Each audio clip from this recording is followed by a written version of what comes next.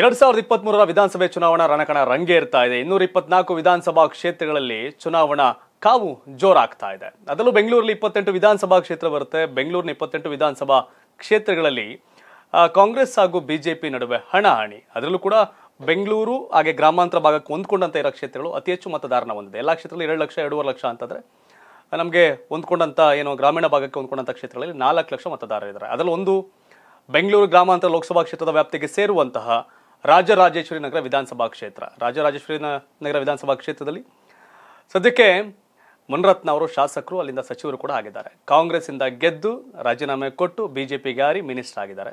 ಈಗ ಅವರ ವಿರುದ್ಧ ಚುನಾವಣೆ ಸ್ಪರ್ಧೆ ಮಾಡ್ತಾ ಇದ್ದಾರೆ ಕುಸುಮ ಅವರು. ನಮಸ್ಕಾರ ಮೇಡಮ್ ನಮಸ್ತೆ ಕಾರ್ಯಕ್ರಮ ಸ್ವಾಗತ. ಥ್ಯಾಂಕ್ ಯು ಹೇಗಿದ್ದೀರಿ? ಚೆನ್ನಾಗಿದ್ದೀನಿ ಸರ್. ರಾಜಕಾರಣ ಏನನ್ಸುತ್ತೆ? ರಾಜಕಾರಣ ಕಷ್ಟ ಇದೆ ಆದರೂ ತೃಪ್ತಿ ಬರುತ್ತೆ. ತೃಪ್ತಿ ಇದೆ. ಈಗಾಗಲೇ ಬೈ ಎಲೆಕ್ಷನ್ ಕಂಟೆಸ್ಟ್ ಮಾಡಿದ್ರಿ. ಚುನಾವಣೆಯಲ್ಲಿ ನಿಮ್ಮದೇ ಆದಂಥ ಮತಗಳನ್ನ ಪಡ್ಕೊಂಡ್ರಿ. ಮತ್ತೆ ಫುಲ್ ಓಡಾಡ್ತಿದ್ರಿ ಕ್ಷೇತ್ರ ತುಂಬ. ಎಲ್ಲಿ ನೋಡಿದ್ರು ಮನ್ ಮನೆಗೆ ಭೇಟಿ ಕೊಡ್ತಿದ್ದೀರಿ. ಐದು ಫ್ಲೋರ್ ಇರಲಿ, ಆರು ಫ್ಲೋರ್ ಇರಲಿ ಹತ್ತುತ್ತೀರಿ ಇಳಿತೀರಿ ಜನಗಳನ್ನ ಓಟ್ ಕೇಳ್ತಾ ಇದ್ದೀರಿ. ಮುನಿರತ್ನ ತುಂಬ ಸ್ಟ್ರಾಂಗ್ ಅಪ್ಪ. ಸೋಲ್ಸಕ್ಕೆ ಸಾಧ್ಯ ಇಲ್ಲ ಅಂತ ಚರ್ಚೆ ನಡುವೆ. ಕುಸುಮ ಅವ್ರಿಗೆ ಯಾವ ಕಾನ್ಫಿಡೆನ್ಸ್ ಕಾಂಗ್ರೆಸ್ಸಿಂದ ಅಲ್ಲಿ ಚುನಾವಣೆ ಗೆಲ್ತೀನಿ ಅಂತ? ನಾವು ನಮ್ಮ ಹಿತ್ ಇತಿಹಾಸನ ಹಿಂದೆ ತೆಗೆದು ನೋಡಿದ್ರೆ ಎಂತೆಂಥ ಘಟಾನುಘಟಿಗಳೇ ಎಲ್ಲರೂ ಸೋತೋಗ್ಬಿಟ್ಟಿದ್ದಾರೆ. ರಾಜಕಾರಣದಲ್ಲಿ ಯಾವುದೇ ಒಂದು ವಿಚಾರದಲ್ಲಿರ್ಬೋದು ಒಬ್ರು ಗೆಲ್ತಾರೆ, ಒಬ್ರು ಸೋಲ್ತಾರೆ. ಯಾರು ಶಾಶ್ವತವಾಗಿ ಒಂದು ಸ್ಥಾನದಲ್ಲಿ ಇರ್ ಇರ್ಲಿಕ್ಕೆ ಸಾಧ್ಯ ಇದೆ ಅನ್ನೋದು ಸುಳ್ಳು. ಸೊ ಅದರಿಂದ ಎಂತೆಂಥವ್ರು ಸೋತು ಮೂಲೆ ಆಗಿದ್ದಾರೆ ಸುಣ್ಣ ಸೇರಿದ್ದಾರೆ ಅಂತಲೇ ಹೇಳ್ಬೋದು. ಅಂಥ ಒಂದು ಸಂದರ್ಭದಲ್ಲಿ ಇವರು ಪ್ರಭಾವಿಗಳು ಅನ್ನೋದಕ್ಕಿಂತ ಹೆಚ್ಚಾಗಿ ರಾಜಕಾರಣದಲ್ಲಿ ಜನಗಳ ಸೇವೆ ಮಾಡಬೇಕು ಅಂತ ಏನು ನಾವು ಆಸೆ ಇಟ್ಕೊಂಡು ಮುಂದೆ ಬಂದಿದ್ದೀನಿ. ಅದನ್ನ ಮಾಡಬೇಕು ಅಂತ ಹೇಳಿ ಮುಂದೆ ಹೋಗ್ತಾ ಇದ್ದೀನಿ. ನಾನು ಕಳೆದ ಬಾರಿ ನಮ್ಮ ಸರ್ವೆ ಆಗ್ಬೋದು ಬೇರೆ ಸುದ್ದಿ ಆಗ್ಬೋದು ಬಳಸಿರ್ತೀನಿ ಕುಸುಮ ಅವರು ತುಂಬ ಸಾಫ್ಟು ನಿಮ್ಮ ವೈಯಕ್ತಿಕ ಬದುಕಿನ ವಿಚಾರಗಳಾಗ್ಬೋದು ಎಲ್ಲವನ್ನು ಕೂಡ ಭಾಳ ಅತಿ ಚಿಕ್ಕ ವಯಸ್ಸಿಗೆ ಕಷ್ಟವನ್ನು ಫೇಸ್ ಮಾಡಿದವರು. ಯಾರಿಗೂ ಐವತ್ತು ವರ್ಷಕ್ಕೋ, ಅರವತ್ತು ವರ್ಷಕ್ಕೋ ಬರೋ ಸಮಸ್ಯೆಗಳು ಕುಸುಮ ಅವ್ರ ಲೈಫಲ್ಲಿ ಒಂದು ಇಪ್ಪತ್ತು ಇಪ್ಪತ್ತೈದನೇ ವಯಸ್ಸಿನ ಅಂತರದಲ್ಲಿ ಬಂದ್ಬಿಡ್ತು ಭಾಳ ಸಮಸ್ಯೆಗಳನ್ನ ಫೇಸ್ ಮಾಡಿದ್ರಿ. ಇಂತಹ ಜೀವನ ಜಂಜಾಟ ಸಂದರ್ಭದಲ್ಲಿ ಸಾರ್ವಜನಿಕ ಜೀವನಕ್ಕೆ ಬರೋದಿದೆಯಲ್ಲ? ಇದು ಈಸಿ ಅಲ್ಲ. ಯಾಕೆ ಇದನ್ನು ಆಯ್ಕೆ ಮಾಡ್ಕೊಂಡ್ರಿ? ಇಲ್ಲ ನೀವು ಹೇಳಿದ್ರಿ ಎಲ್ಲೋ ಐವತ್ತು ಅರವತ್ತು ವರ್ಷಕ್ಕೆ ಸಮಸ್ಯೆಗಳು ಬರೋದು ಬೇಗ ಬಂದಿದೆ ಅಂತ. ಬಹುಶಃ ಆ ಸಮಸ್ಯೆಗಳು ಬಂದಿರೋದಕ್ಕೆ ನಾನು ಬಹುಶಃ ಗಟ್ಟಿಯಾಗಿ ಇದ್ದೀನಿ ಅಂತಾನೆ ಹೇಳ್ಬೋದು. ಭಾಳ ಸಣ್ಣ ವಯಸ್ಸದಲ್ಲಿನೇ ಎಲ್ಲ ಎಲ್ಲವನ್ನೂ ನೋಡಿ ಎಲ್ಲ ಸಮಸ್ಯೆಗಳನ್ನ ಎದುರಿಸಿ ನನಗಾದರೂ ಒಂದು ಬ್ಯಾಕ್ಗ್ರೌಂಡ್ ಇತ್ತು ಅಂದರೆ ನನ್ನ ತಂದೆ ಸ್ವಲ್ಪ ಎಲ್ಲವನ್ನು ಫೇಸ್ ಮಾಡುವಷ್ಟು ಶಕ್ತಿ ಇತ್ತು ಫೈನಾನ್ಷಿಯಲಿ ಇರಬಹುದು. ಬೇರೆ ಯಾವುದೇ ಒಂದು ವಿಧದಲ್ಲಿ ಅವ್ರಿಗೊಂದು ಶಕ್ತಿ ಇತ್ತು. ಅದರಿಂದ ಅದು ತುಂಬ ಸಹಾಯ ಮಾಡ್ತು. ನನಗೆ ನನ್ನ ಸಮಸ್ಯೆಗಳಿಂದ ಹೊರಗಡೆ ಬಂದು ಏನಾದರೂ ಒಂದು ಅಚೀವ್ ಮಾಡಲಿಕ್ಕೆ ಸಾಧ್ಯ ಆಯಿತು. ನನ್ನಂಥ ಎಷ್ಟೋ ಹೆಣ್ಮಕ್ಳುಗಳು ಅದೇ ಸಮಸ್ಯೆಯನ್ನು ಎದುರಿಸ್ತಾ ಇರ್ತಾರೆ, ಆದರೆ ಅವ್ರಿಗೆ ಯಾವುದೇ ರೀತಿಯಾದ ಬ್ಯಾಕ್ಗ್ರೌಂಡ್ ಸಪೋರ್ಟ್ ಇರಲ್ಲ. ಸೊ ಅಂಥ ಹೆಣ್ಮಕ್ಳುಗಳ ಪರಿಸ್ಥಿತಿ ಏನಾಗಿರ್ಬೋದು ಸೊ ಅಂಥ ಹೆಣ್ಮಕ್ಳುಗಳಿಗೆಲ್ಲ ಅಟ್ಲೀಸ್ಟ್ ನಾನು ಬಂದು ಏನಾದರೂ ನನ್ನ ಕೈಲಿ ಆಗೋ ಆಗುವಂಥ ಸಹಾಯವನ್ನು ಮಾಡಬಹುದು. ರಾಜಕಾರಣದಲ್ಲಿ ಹೆಚ್ಚು ಜನಗಳನ್ನ ರೀಚ್ ಮಾಡಲಿಕ್ಕೆ ಅವಕಾಶ ಇರುತ್ತೆ. ಸೊ ಈ ಒಂದು ಸಾರ್ವಜನಿಕ ಜೀವನದಲ್ಲಿ ನಾವು ನಮ್ಮ ಕೈಲಿ ಏನು ಸಾಧ್ಯ ಇದೆಯೋ ಅದನ್ನ ಮಾಡುವಷ್ಟು ಶಕ್ತಿ ದೇವರು ನಮಗೆ ಕೊಟ್ಟಾಗ ಅದನ್ನ ಮಾಡಬೇಕು ಅಂತ ಒಂದು ನಿರ್ಧಾರವನ್ನ ತೆಗೆದುಕೊಂಡು ನಾನು ಸಾರ್ವಜನಿಕ ಜೀವನಕ್ಕೆ ಕಾಲಿಟ್ಟಿದ್ದಂಥದ್ದು. ಇವತ್ತು ಭಾಳ ಕಾನ್ಫಿಡೆನ್ಸ್ ಮುಖದಲ್ಲಿ ಕಾಣ್ತಿದೆ. ಆಗ ಏನೋ ಮಾಡ್ತೀನಿ, ಸಾಧಿಸ್ತೀನಿ ಏನೋ ಹಠ, ಛಲ, ಆತ್ಮವಿಶ್ವಾಸ ನಿಮ್ಮಲ್ಲಿ ಕಾಣ್ತಾ ಇದೆ.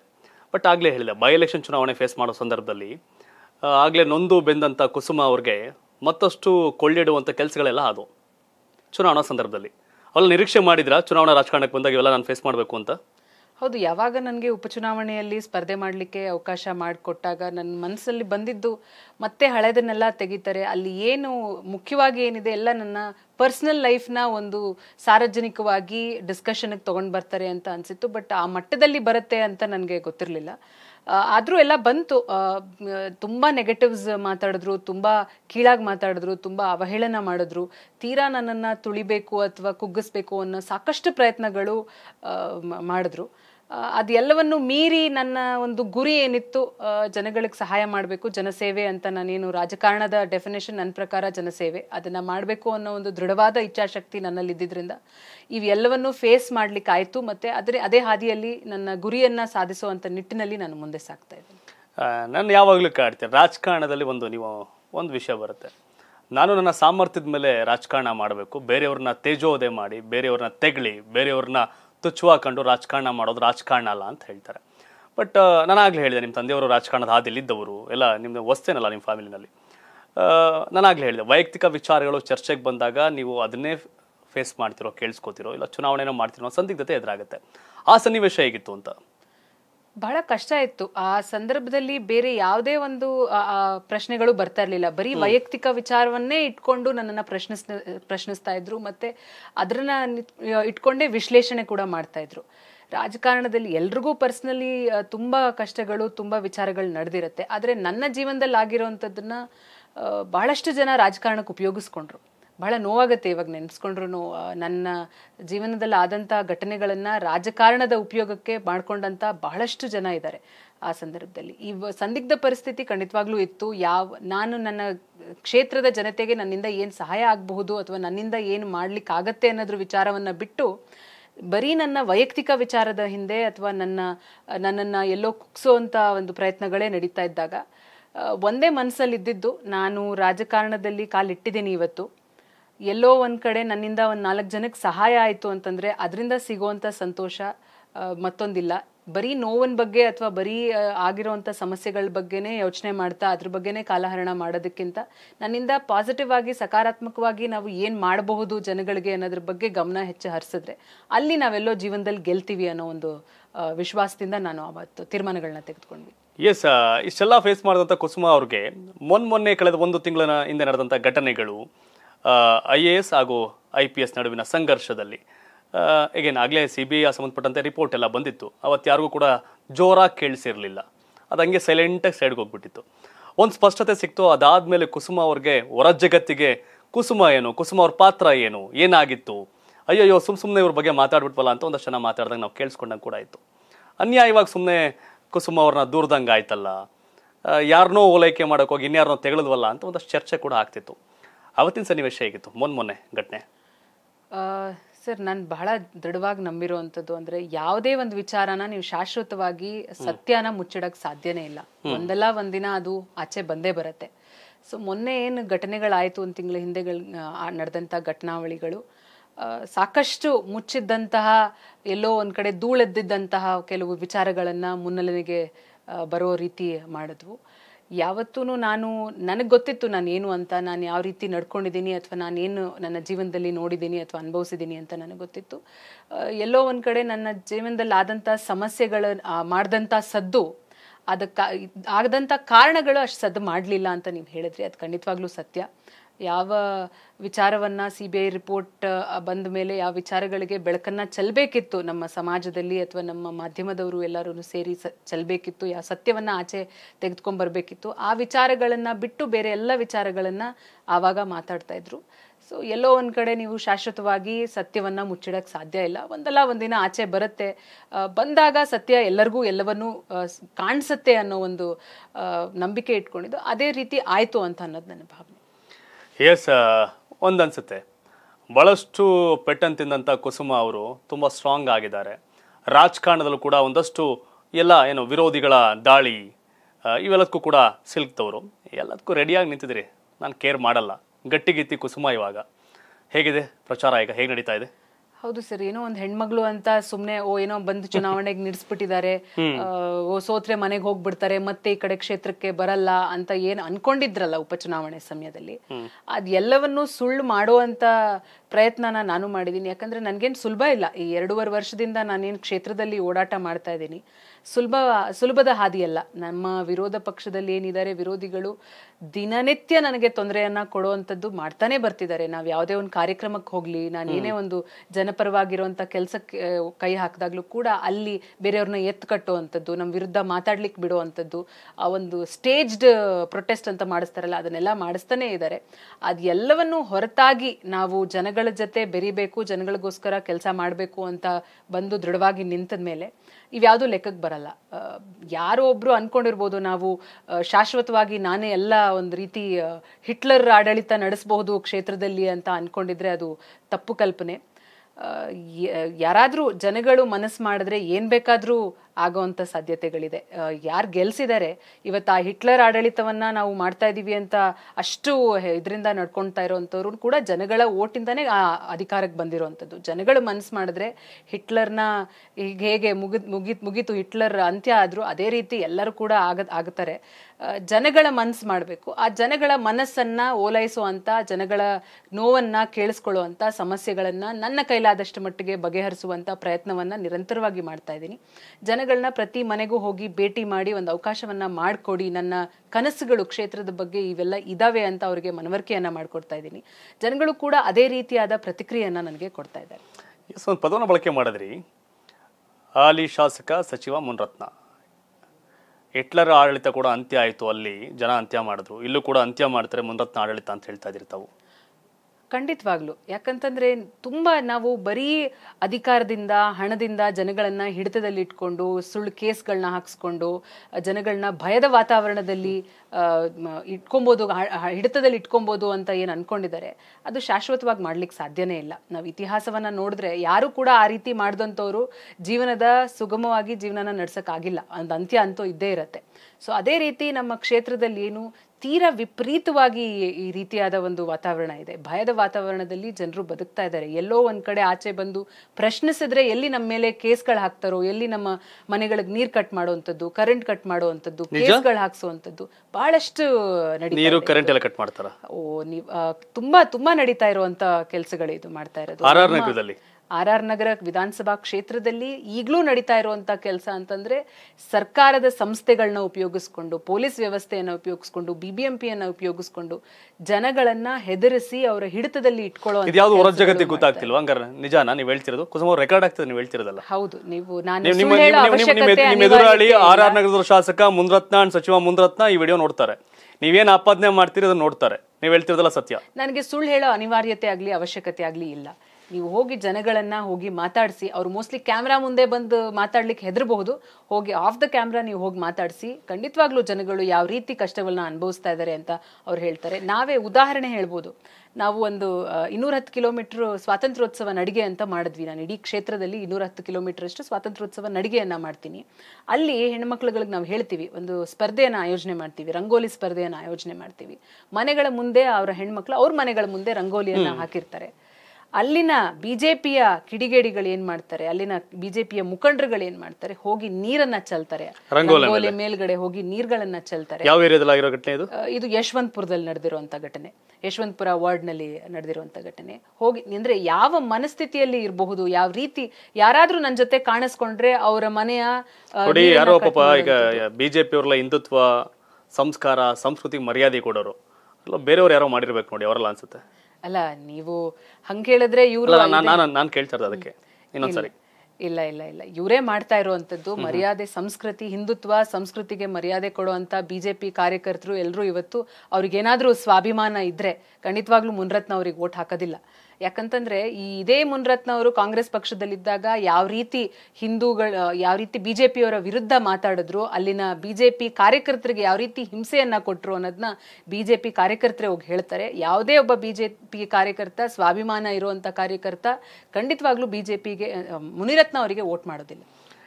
ಹೇಗಿದೆ ಅಂದರೆ ಎರಡು ಸಾವಿರದ ಹದಿನೆಂಟರ ಚುನಾವಣೆಯಲ್ಲಿ ತುಳಸಿ ಮುನ್ರಾಜುಗೌಡ ಬಿಜೆಪಿ ಅಭ್ಯರ್ಥಿ, ರಾಮಚಂದ್ರ ಅವರು ಕಾಂಗ್ರೆಸ್ ಅಭ್ಯರ್ಥಿ, ಮುನ್ರತ್ನ ಕಾಂಗ್ರೆಸ್ ಅಭ್ಯರ್ಥಿ.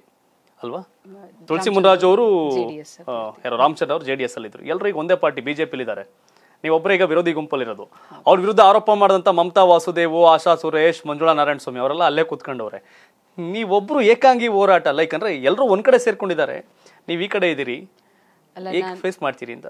ಇಲ್ಲ ಯಾರು ದಿನನಿತ್ಯ ಮುನ್ರತ್ನ ಅವ್ರ ಜೊತೆ ಜೊತೆಲಿದ್ದಾರೆ ಯಾರೆಲ್ಲ ಅವ್ರ ಜೊತೆ ಜೊತೆಲಿ ನಿಂತ್ಕೊಂಡಿದ್ದಾರೆ ಈ ಬಾರಿ ಅವ್ರಗಳೇ ಬಂದು ಚುನಾವಣೆಯನ್ನ ನನ್ನ ಪರವಾಗಿ ಮಾಡ್ತಾರೆ. ನಾನು ಅವ್ರ ಹೆಸರುಗಳನ್ನ ಹೇಳೋದಕ್ಕೆ ಹೋಗೋದಿಲ್ಲ.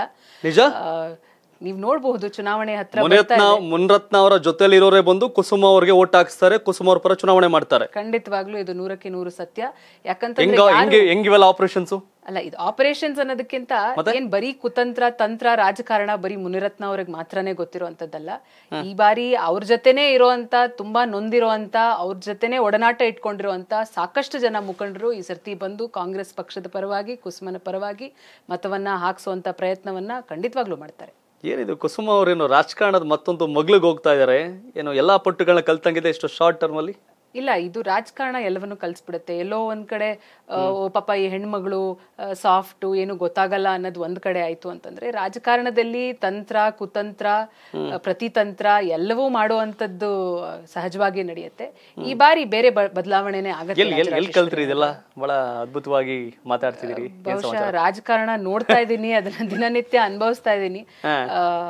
ಅದರಿಂದಾನೇ ಬಹುಶಃ ಇದು ಕಲ್ತಿದ್ದೀನಿ ಅಂತಾನೆ ಹೇಳ್ಬೋದು. ಎಸ್ ನಾನು ಏನೇ ಹೇಳಿದ್ರು ನಾನು ಆಗಲೇ ಹೇಳಿದೆ. ವಿರೋಧಿ, ವಿರ್- ವಿರೋಧ ಇದ್ದವರಲ್ಲ. ಮುನಿರತ್ನಾಗೆ ವಿರೋಧ ಇದ್ದವರಲ್ಲ ಅಕ್ಕಪಕ್ಕ ನಿಂತ್ಕೊಂಡವ್ರು, ಅವರೆಲ್ಲ ಬಂದು ನಿಮ್ಮ ಚುನಾವಣೆ ಮಾಡ್ತಾರೆ. ಈಗಾಗಲೇ ಗೊತ್ತು, ಮುನಿರತ್ನ ಜೊತೆಲಿರೋರೇ ನೊಂದು ಬೆಂದಿರೋರೆಲ್ಲ ಬಂದು ಚುನಾವಣೆ ಮಾಡ್ತಾರೆ ಅಂತ ಹೇಳ್ತಾ ಇದ್ದೀರಿ. ಬಟ್ ಆರ್ ಆರ್ ನಗರ ವಿಧಾನಸಭಾ ಕ್ಷೇತ್ರ ಕಾಂಗ್ರೆಸ್ಗೆ ಕಬ್ಬಿಣದ ಕಡಲೆ ಅಂತ ಹೇಳ್ತಾರೆ ಜನ. ಕುಸುಮ ಅವ್ರಿಗೆ ಈಸಿ ಆಗುತ್ತೆ? ಅಲ್ಲ, ಇದೇ ಆರ್ ಆರ್ ನಗರ ಕ್ಷೇತ್ರದಲ್ಲೇ ಮುನಿರತ್ನ ಅವರು ಎರಡು ಬಾರಿ ಶಾಸಕರಾಗಿ ಗೆದ್ದಿರುವಂಥದ್ದು. ಕಾಂಗ್ರೆಸ್ ಪಕ್ಷದ ಅಡಿಯಲ್ಲೇ ಕೂಡ ಮುನಿರತ್ನ ಅವರು ಗೆದ್ದಿರುವಂಥದ್ದು. ರಾಜರಾಜೇಶ್ವರಿ ನಗರ ವಿಧಾನಸಭಾ ಕ್ಷೇತ್ರ ಕಾಂಗ್ರೆಸ್ನ ಭದ್ರಕೋಟೆ. ಇದು ಇವತ್ತು ಮುನ್ರತ್ನ ಅವರು ಬಿಜೆಪಿಗೆ ಅಧಿಕಾರದ ಆಸೆಯಿಂದ ಹೋಗಿ ಬಿಜೆಪಿಯಲ್ಲಿ ಮಂತ್ರಿ ಆಗಬೇಕು ಅಂತ ಹೇಳಿ ಹೋಗಿದ್ದಾರೆ. ಉಪಚುನಾವಣೆ ಸಂದರ್ಭ ಸರ್ಕಾರ ಬಿಜೆಪಿ ಪಕ್ಷದ ಸರ್ಕಾರ ಇದ್ದಿದ್ದರಿಂದ ಸಹಜವಾಗಿ ಉಪಚುನಾವಣೆಗಳು ಯಾವ ಪಕ್ಷ ಅಧಿಕಾರದಲ್ಲಿರುತ್ತೋ ಆ ಕಡೆ ವಾಲುವಂಥದ್ದು ನಾವು ಸಹಜವಾಗಿ ನೋಡಿರುವಂಥದ್ದು ಕಾಂಗ್ರೆಸ್ ರಾಜರಾಜೇಶ್ವರಿ ನಗರದ ವಿಧಾನಸಭಾ ಕ್ಷೇತ್ರದಲ್ಲಿ ಈಗಲೂ ಕೂಡ ಕಾಂಗ್ರೆಸ್ ಪಕ್ಷ ಭದ್ರವಾಗಿದೆ. ಏನು ನಮ್ಮ ಕಾರ್ಯಕರ್ತರುಗಳೇನಿದ್ದಾರೆ ಕಾಂಗ್ರೆಸ್ ಪಕ್ಷದ ಕಾರ್ಯಕರ್ತರು? ಏನು ಅವ್ರ ಅವ್ರಿಗೆ ಮುನ್ರತ್ನ ಅವರಿಗೆ ಹೆದರ್ಕೊಂಡು ಬೆದರ್ಕೊಂಡು ಇದ್ದಂಥವರೆಲ್ಲ ಅವ್ರ ಜೊತೆನೆ ಹೋಗಿದ್ದಾರೆ. ಈಗೇನು ಉಳಿದಿದ್ದಾರೆ ಅವರೆಲ್ಲರೂ ದೃಢವಾಗಿ ಧೈರ್ಯದಿಂದ ನಾವು ಕಾಂಗ್ರೆಸ್ ಪಕ್ಷದ ಪರವಾಗಿ ಕೆಲಸ ಮಾಡ್ತೀವಿ ಅಂತ ನಿಂತು ಕೆಲಸ ಮಾಡ್ತಾ ಇದ್ದಾರೆ. ಇದು ಕಬ್ಬಿಣದ ಕಡಲೆ ಅಂತ ಹೇಳೋದಂತೂ ತಪ್ಪಾಗತ್ತೆ. ಈಸಿ ಇದೆ. ಚುನಾವಣೆ ಮಾಡ್ಬೋದು. ಚುನಾವಣೆ ಖಂಡಿತವಾಗ್ಲೂ ಮಾಡಬಹುದು ಈ ಬಾರಿ ಚುನಾವಣೆಯಲ್ಲಿ ಕಾಂಗ್ರೆಸ್ ಪಕ್ಷ ರಾಜರಾಜೇಶ್ವರಿ ನಗರ ಕ್ಷೇತ್ರದಲ್ಲಿ ಖಂಡಿತವಾಗ್ಲೂ ಗೆಲ್ಲುತ್ತೆ. ಎಸ್ ಕುಸುಮ ಅವ್ರಿಗೆ ಈ ಲೆವೆಲ್ ಕಾನ್ಫಿಡೆನ್ಸ್ ಬರೋ ಕಾರಣ ಏನು? ಜನ, ಜನಗಳು ತೋರಿಸ್ತಿರುವಂಥ ಪ್ರೀತಿ, ಜನಗಳು ತುಮ್ ತುಂಬ್ತಾ ಇರುವಂಥ ಆತ್ಮವಿಶ್ವಾಸ. ಈಗಾಗಲೇ ನಾನು ಸುಮಾರು ಇಪ್ಪತ್ತರಿಂದ ಇಪ್ಪತ್ತೈದು ಸಾವಿರ ಮನೆಗಳನ್ನು ನಾನು ಆ, ಡೈರೆಕ್ಟ್ ಆಗಿ ಹೋಗಿ ಮತವನ್ನ ಕೇಳ್ತಾ ಇದ್ದೀನಿ. ಶುರು ಮಾಡಿದ್ರಿ ಪ್ರಚಾರ? ಸುಮಾರು ಒಂದು ಮೂವತ್ನಾಲ್ಕು ದಿನದಿಂದ ನಾನು ಪ್ರಚಾರವನ್ನ ಕಂಟಿನ್ಯೂಸ್ ಆಗಿ ಮಾಡ್ತಾ ಇದ್ದೀನಿ. ಜನಗಳ ಹತ್ರ ಹೋಗಿ ನಾನು ಅವಕಾಶವನ್ನ ಕೇಳಿದಾಗ ನನ್ನ ಕನಸುಗಳೇನಿದೆ ಕ್ಷೇತ್ರದ ಬಗ್ಗೆ ಅನ್ನೋದನ್ನ ಮನವರಿಕೆ ಮಾಡಿಕೊಟ್ಟಾಗ ಅವರೇ ಸ್ವತಃ ಹೇಳ್ತಾ ಇದ್ದಾರೆ ನಿಮ್ಗೆ ಈ ಬಾರಿ ನಾವು ಒಂದು ಅವಕಾಶವನ್ನ ಮಾಡ್ಕೊಡ್ತೀವಿ ಅಂತ ಹೇಳಿ ಆ ಆತ್ಮವಿಶ್ವಾಸವನ್ನ ತುಂಬ್ತಾ ಇದ್ದಾರೆ. ಇಷ್ಟರ ಮಟ್ಟಿಗೆ ನಾನು ಕಾನ್ಫಿಡೆನ್ಸ್ ಅಲ್ಲಿ ನಿಮ್ಮ ಮುಂದೆ ಬಂದು ಹೇಳ್ತಾ ಇದ್ದೀನಿ ಅಂತಂದ್ರೆ ಅದೆಲ್ಲದಕ್ಕೂ ಮೂಲ ಕಾರಣ ಜನಗಳು ತೋರಿಸ್ತಾ ಇರುವಂತಹ ವಿಶ್ವಾಸ ಜನಗಳು ತುಂಬ್ತಾ ಇರುವಂತಹ ಆತ್ಮಸ್ಥೈರ್ಯ. ಏನ್ ಹೇಳ್ತಾ ಇದ್ರಿ ಜನಕ್ಕೆ? ತಾವು ಗೆದ್ರೆ ಏನು ಮಾಡ್ತೀರಿ? ಏನ್ಗಳು ಜನ ಏನಂತಾರೆ? ಜನ ಯಾವ ರೀತಿ ರಿಯಾಕ್ಟ್ ಮಾಡ್ತಾ ಇದಾರೆ? ಜನಗಳು ಕೂಡ ಬಹಳಷ್ಟು ನಂದಿದ್ದಾರೆ. ಈಗೇನು ಈ ಫಾರ್ಟಿ ಪರ್ಸೆಂಟ್ ಬಿಜೆಪಿ ಸರ್ಕಾರ ಏನಿದೆ ಅವರ ನೀತಿಗಳೇನಿದೆ ಬಹಳ ಆರ್ಥಿಕವಾಗಿ ಹೊಡೆತವನ್ನು ಅನುಭವಿಸಿದ್ದಾರೆ ಜನಗಳು. ಬಿಜೆಪಿಯ ಏನು ಸಿಲಿಂಡರ್ ಬೆಲೆ ಎಷ್ಟಿತ್ತು, ಈಗ ಎಷ್ಟಾಗಿದೆ? ಸಾವಿರದ ಇನ್ನೂರು ರೂಪಾಯಿ ಸಿಲಿಂಡರ್ ಕಟ್ಟಬೇಕು ಅಂತಂದರೆ ಭಾಳ ಕಷ್ಟ ಇದೆ. ಹೆಣ್ಮಕ್ಳುಗಳಂತೂ ಪಾಪ ತುಂಬ ಕಣ್ಣಲ್ಲಿ ನೀರು ಹಾಕೋ ಪ ಮಟ್ಟಕ್ಕೆ ಹೋಗ್ತಾ ಇದ್ದಾರೆ ಮಕ್ಕಳ ಶಿಕ್ಷಣ ಹೇಗೆ ಮಾಡೋದು, ಮನೆಯನ್ನ ಹೇಗೆ ನಡೆಸುವಂಥದ್ದು ಈ ಬೆಲೆ ಏರಿಕೆ ಅನ್ನೋ ಬಿಸಿಯಲ್ಲಿ ಬಿ ಜೆ ಪಿಯ ಒಂದು ಈ ದುರಾಡಳಿತದಲ್ಲಿ ಭಾಳ ನೊಂದಿದ್ದಾರೆ ಜನಗಳು. ಸೊ ಈ ಬಾರಿ ಅವರೇ ಬದಲಾವಣೆಯನ್ನ ಬಯಸ್ತಾ ಇದ್ದಾರೆ ಆ ಬದಲಾವಣೆಗೆ, ಬದಲಾವಣೆಯ ಒಂದು ಮುಖ ಕುಸುಮ. ಸೊ ಆದ್ರಿಂದ ಅವ್ರು ಎಲ್ಲರೂ ಆತ್ಮವಿಶ್ವಾಸವನ್ನ ತುಂಬಿ ನನ್ನ ಕನಸುಗಳು ಏನ್ ರಾಜರಾಜೇಶ್ವರಿ ನಗರಕ್ಕೆ ಕನಸುಗಳಿದೆ ಬಹಳಷ್ಟು ಕೆಲಸಗಳಾಗಬೇಕು ಏನೇನ್ ಮಾಡಬೇಕು ಅನ್ಕೊಂಡಿದೀರಿ? ನೋಡಿ ನಮ್ಮ ಇಡೀ ಕ್ಷೇತ್ರದಲ್ಲಿ ನನ್ನ ಕ್ಷೇತ್ರದ ಮಕ್ಕಳು ಉತ್ತಮವಾದಂಥ ಗುಣಮಟ್ಟದ ಸರ್ಕಾರಿ ಶಾಲೆಗಳು ಆಗಬೇಕು ಅಲ್ಲಿ ಉತ್ತಮವಾದಂಥ ಶಿಕ್ಷಣಗಳು ದೊರಕಬೇಕು. ಸರ್ಕಾರಿ ಶಾಲೆಗಳೆಲ್ಲ ಸರಿಯಾದ್ದು?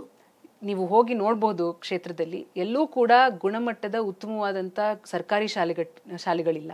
ಪ್ರೈವೇಟ್ ಸ್ಕೂಲ್ಸ್ಗಳಲ್ಲಿ ಹಾಕ್ತಾ ಇರುವಂಥ ಫೀಸ್ಗಳನ್ನ ಭರಿಸ್ಲಿಕ್ಕೆ ಜನಗಳಿಗೆ ಕಷ್ಟ ಆಗ್ತಾ ಇದೆ. ಸೊ ಯಾವುದೇ ಒಂದು ಕ್ಯಾಪ್ ಇಲ್ಲ ಪ್ರೈವೇಟ್ ಸ್ಕೂಲ್ಸ್ ಅವರ ಫೀಸ್ನ ಮಾಡ್ತಾ ಇರುವಂಥದ್ದು. ಮತ್ತು ಬಾಡಿಗೆದಾರರಿಗೆ ಅವರ ಸಮಸ್ಯೆಗಳು. ಹಲವಾರು ನಮ್ಮಲ್ಲಿ ಜಾಸ್ತಿ ಅನಿವಾಸಿಗಳಿದ್ದಾರೆ. ಹಾಗೆ ಅಲ್ಲಿ ಬಾಡಿಗೆದಾರರು ಜಾಸ್ತಿ ಇದ್ದಾರೆ ಕ್ಷೇತ್ರದಲ್ಲಿ. ಸೊ ಅವರ ಸಮಸ್ಯೆಗಳು ಹೇಳ್ತಿರ್ತಾ ಇಲ್ಲ. ಸೊ ಈ ರೀತಿಯಾದ ಆರೋಗ್ಯ ವ್ಯವಸ್ಥೆ ಇಲ್ಲ. ಒಂದು ಒಳ್ಳೆ ಮಲ್ಟಿ ಸ್ಪೆಷಾಲಿಟಿ ಹಾಸ್ಪಿಟಲ್ ಇಲ್ಲ ನಮ್ಮ ಕ್ಷೇತ್ರದಲ್ಲಿ. ಇಲ್ಲ ಸರ್ಕಾರದ್ದು? ಸರ್ಕಾರದ ಯಾವುದೇ ಮಲ್ಟಿ ಸ್ಪೆಷಾಲಿಟಿ ಹಾಸ್ಪಿಟಲ್ ಇಲ್ಲ ಹೈಸ್ಕೂಲ್ಗಳಿಲ್ಲ ಸರ್ಕಾರಿ ಹೈಸ್ಕೂಲ್ಗಳಿಲ್ಲ ನಮ್ಮ ಕ್ಷೇತ್ರದಲ್ಲಿ. ಒಂದು ಒಳ್ಳೆ ಉತ್ತಮವಾದಂತಹ ಸುಸಜ್ಜಿತ? ಬಹಳಷ್ಟು ದೊಡ್ಡ ಕ್ಷೇತ್ರ ನಮ್ಗೆ ನಾಲ್ಕೂವರೆ ಲಕ್ಷ ಮತದಾರರಿದ್ದಾರೆ. ಬಹಳ ಹೆಚ್ಚಿನ ಶುರುವಾಗಿ ಮೈಸೂರು ಆರ್ ಆರ್ ನಗರದವರೆಗೂ ನಿಮ್ ಕ್ಷೇತ್ರ ಹೌದು. ಬಹಳ ದೊಡ್ಡ ಕ್ಷೇತ್ರ ನಾಲ್ಕೂವರೆ ಲಕ್ಷ ಮತದಾರರು ಇರುವಂತ ಕ್ಷೇತ್ರ ಹೆಚ್ಚು ಅನುದಾನವನ್ನ ಪಡ್ಕೊಂಡಿರುವಂತ ಕ್ಷೇತ್ರ ಕೂಡ ರಾಜರಾಜೇಶ್ವರಿ ಅನುದಾನ ಬಂದ್ಮೇಲೆ ಕೆಲಸ ಆಗ್ಬೇಕಲ್ವಾ? ಅದೇ ಹೇಳ್- ಆಗ್ತಾ ಇಲ್ಲ. ಕೆಲಸಗಳು ಏನಾಗ್ತಾ ಇದೆ ಅಂತಂದ್ರೆ ಬರೀ ಕಾಂಕ್ರೀಟ್ ಕಾರ್ಡ್ಗಳು ಆಗ್ತಾ ಇದೆ ಹೊರತು ಪರಿಸರ ನಾಶ ಆಗ್ತಾ ಇದೆ ಹೊರತು ಯಾವುದೇ ಒಂದು ಸರ್ವಾಂಗೀಣ ಅಭಿವೃದ್ಧಿಗೆ ಕೆಲಸಗಳು ಆಗಿಲ್ಲ ಅಲ್ಲಿ. ಸೊ ಈ ಕೆಲಸಗಳು ಈ ಆಲೋಚನೆಗಳನ್ನು ನಾನು ನನ್ನ ಕ್ಷೇತ್ರದ ಜನಗಳಿಗೆ ಎಷ್ಟು ಜನ ವಿದ್ಯಾವಂತರಿಗೆ ಕೆಲಸ ಇಲ್ಲ ಒಂದು ಜಾಬ್ ಫೇರ್ಗಳಾಗಿಲ್ಲ ಒಬ್ಬರಿಗೆ ಕೆಲಸ ಸಿಗುವಂಥ ಯಾವುದೇ ಸೌಲಭ್ಯಗಳು ಅವರಿಗೆ ದೊರಿ ದೊರಕ್ತಾ ಇಲ್ಲ. ಸರ್ಕಾರದ ಯೋಜನೆಗಳು ಸರ್ಕಾರದ ಸೇವೆಗಳು ತಲುಪಬೇಕಾಗಿರುವಂಥವರಿಗೆ ತಲುಪ್ತಾ ಇಲ್ಲ. ಸೊ ಈ ಒಂದು ಆಧಾರ್ ಕಾರ್ಡ್ ಮಾಡಿಸ್ಕೋಬೇಕು ಅಂತಂದ್ರೂ ಒಂದು ವೋಟರ್ ಐ ಡಿ ಕಾರ್ಡ್ ಮಾಡಿಸ್ಕೋಬೇಕು ಅಂತಂದ್ರೂ ಎಲ್ಲಿ ಮಾಡಿಸ್ಕೋಬೇಕು ಹೇಗೆ ಮಾಡಿಸ್ಕೋಬೇಕು ಅನ್ನೋದ್ರ ಬಗ್ಗೆ ಅರಿವಿಲ್ಲದೆ ಇರುವಂತ ಆ, ಕ್ಷೇತ್ರ ಕುಸುಮ ಅವರೇ ನೀವು ಎಲ್ಲ ಬರೀ ಆರ ನಗರದ ಬಗ್ಗೆ ಹೇಳ್ತಾ ಇದ್ದೀರಾ? ಇಲ್ಲ ಬೇರೆ ಇಡೀ ರಾಜ್ಯದ ಏನಾರು ಹೇಳ್ತಾ ಇದ್ದೀರಾ? ರಾಜ್ಯದಲ್ಲೂ ಇದೇ ಪರಿಸ್ಥಿತಿ ಇದೆ ಆದ್ರೆ ನಾನು ನನ್ನ ಕ್ಷೇತ್ರಕ್ಕೆ ಸಂಬಂಧಪಟ್ಟಂಗೆ ಹೇಳ್ತಾ ಹೇಳೋದಾದ್ರೆ ಬಹಳ ಸರ್ಕಾರದ ಸೇವೆಗಳು ಯಾವುದು ಜನಗಳಿಗೆ ಅಭಿವೃದ್ಧಿ ಅಭಿವೃದ್ಧಿಯ ಅಧಿಕಾರ ಮಿನಿಸ್ಟರ್ ಆಗ್ಬಿಟ್ಟು ಸಾವಿರಾರು ಕೋಟಿ ಅನುದಾನ ತಂದಿದ್ದಾರೆ ಮುನ್ರತ್ನ ಕ್ಷೇತ್ರಕ್ಕೆ ಅನ್ನೋ ಮಾತೆಲ್ಲ ಚರ್ಚೆ ಎಲ್ಲ ಇದೆ. ಅಲ್ಲೆಲ್ಲ ಫ್ಲೆಕ್ಸ್ ಅಲ್ಲೆಲ್ಲ ನೋಡ್ತಿರ್ತೀವಿ. ನೀವು ನೋಡಿದ್ರೆ ಏನೂ ಆಗಿಲ್ಲ ಅಂತ ಹೇಳ್ತಾ ಇದ್ದೀರಿ. ಅಭಿವೃದ್ಧಿ ಹಾಗಾದ್ರೆ ರಾಜರಾಜೇಶ್ವರಿ ನಗರ ಕ್ಷೇತ್ರದ ಜನ ಸಿಲಿಂಡರ್ಗೆ ಐನೂರು ರೂಪಾಯಿ ಕಟ್ತಾ ಇದ್ದಾರಾ? ಹಾಗಾದ್ರೆ ಆರ್ ಆರ್ ನಗರದ ಕ್ಷೇತ್ರದ ಜನ ಅದಕ್ಕೆ ಮು- ಅದಕ್ಕೆ ಡೀಸೆಲ್ಗೆ ಅದಕ್ಕೆ ಮುನ್ರತ್ನ ಕಾರಣನಾ? ಕ್ಷೇತ್ರದ ಶಾಸಕರು ಅವರ ಕ್ಷೇತ್ರದ ಜನಗಳ ಸಮಸ್ಯೆಗೆ ಯಾವ ರೀತಿ ಪರಿಹಾರ ಕೊಡಬೇಕು? ಹಾಗಾದ್ರೆ ಯಾಕೆ ಒಂದು ಸುಸಜ್ಜಿತವಾದಂತ ಒಂದು ಲೈಬ್ರರಿ ಫೆಸಿಲಿಟಿ ಇಲ್ಲ? ಒಂದು ಮಲ್ಟಿ ಸ್ಪೆಷಾಲಿಟಿ ಹಾಸ್ಪಿಟಲ್ ಇಲ್ಲ? ಮಧ್ಯಮ ವರ್ಗ ಮತ್ತೆ ಕೆಳವರ್ಗದವರು ಇರುವಂತ ಕ್ಷೇತ್ರದಲ್ಲಿ ಒಂದು ಹಾಸ್ಪಿಟಲ್ ಕಟ್ಸ್ಬೋದಿತ್ತು ಒಂದು ಲೈಬ್ರರಿ ಮಾಡಿಸ್ಬೋದಿತ್ತು ಸರ್ಕಾರಿ ಶಾಲೆಗಳನ್ನ ಉನ್ನತೀಕರಣ ಮಾಡ್ಬೋದಿತ್ತು ಸರಿಯಾದಂತ ಟ್ರಾಫಿಕ್ ಸಮಸ್ಯೆಗೆ ಪರಿಹಾರ ಇಲ್ಲ ಎಲ್ಲಿ ಒಂದು ಸ್ಕೈ ವಾಕ್ಗಳು ಆಗ್ಬೇಕಾಗಿರುವಂತ ಜಾಗಗಳಲ್ಲಿ ಆಗಿಲ್ಲ.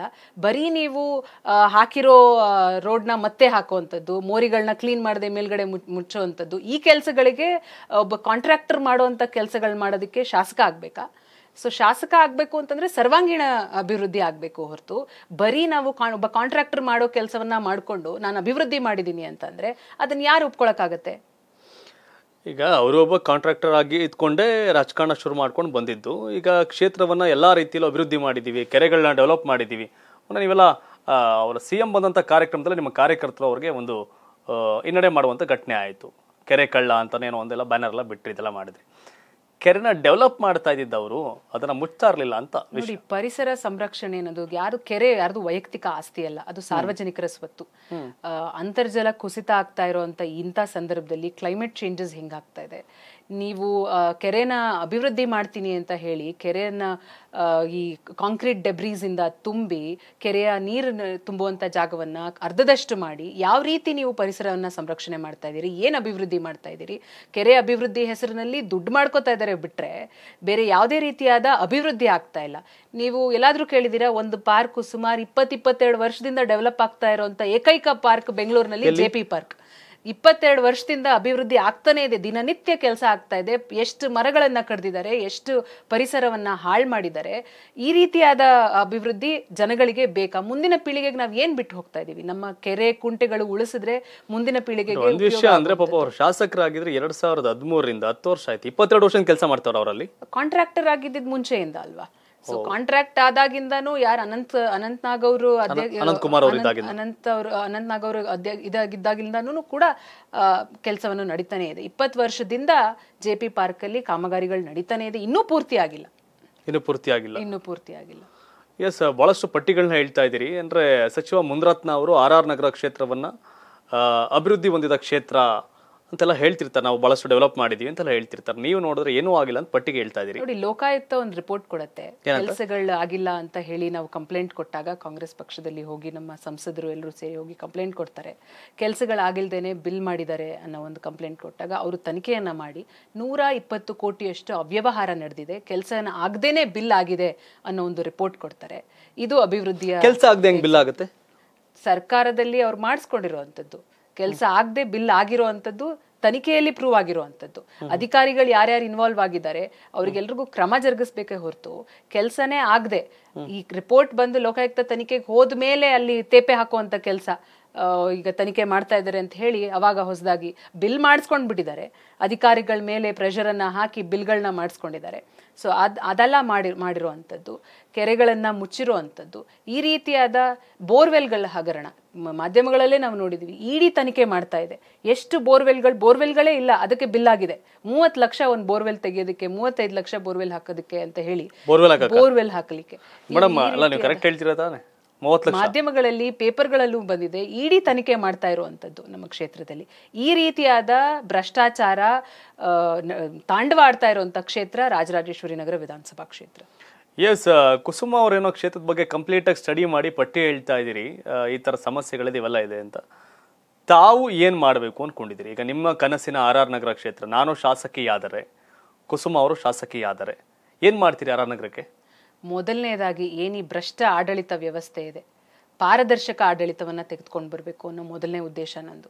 ಯಾವುದೇ ಒಂದು ಕೆಲಸಗಳಲ್ಲಾಗಲಿ ಪಾರದರ್ಶಕವಾಗಿ ಒಂದು ಟೆಂಡರ್ ಇರ್ಬೋದು, ಕಾಮಗಾರಿಗಳಿರ್ಬೋದು, ಪಾರದರ್ಶಕವಾಗಿ ನಡಿಬೇಕು. ಅದು ಜನಗಳ ತೆರಿಗೆ ದುಡ್ಡು, ಜನಗಳ ಕೆಲಸಕ್ಕೆ ಉಪಯೋಗ ಆಗಬೇಕೆ ಹೊರತು ಸ್ವ, ಸ್ವಯಂ ಉಪ್- ಉಪಯೋಗಕ್ಕಲ್ಲ.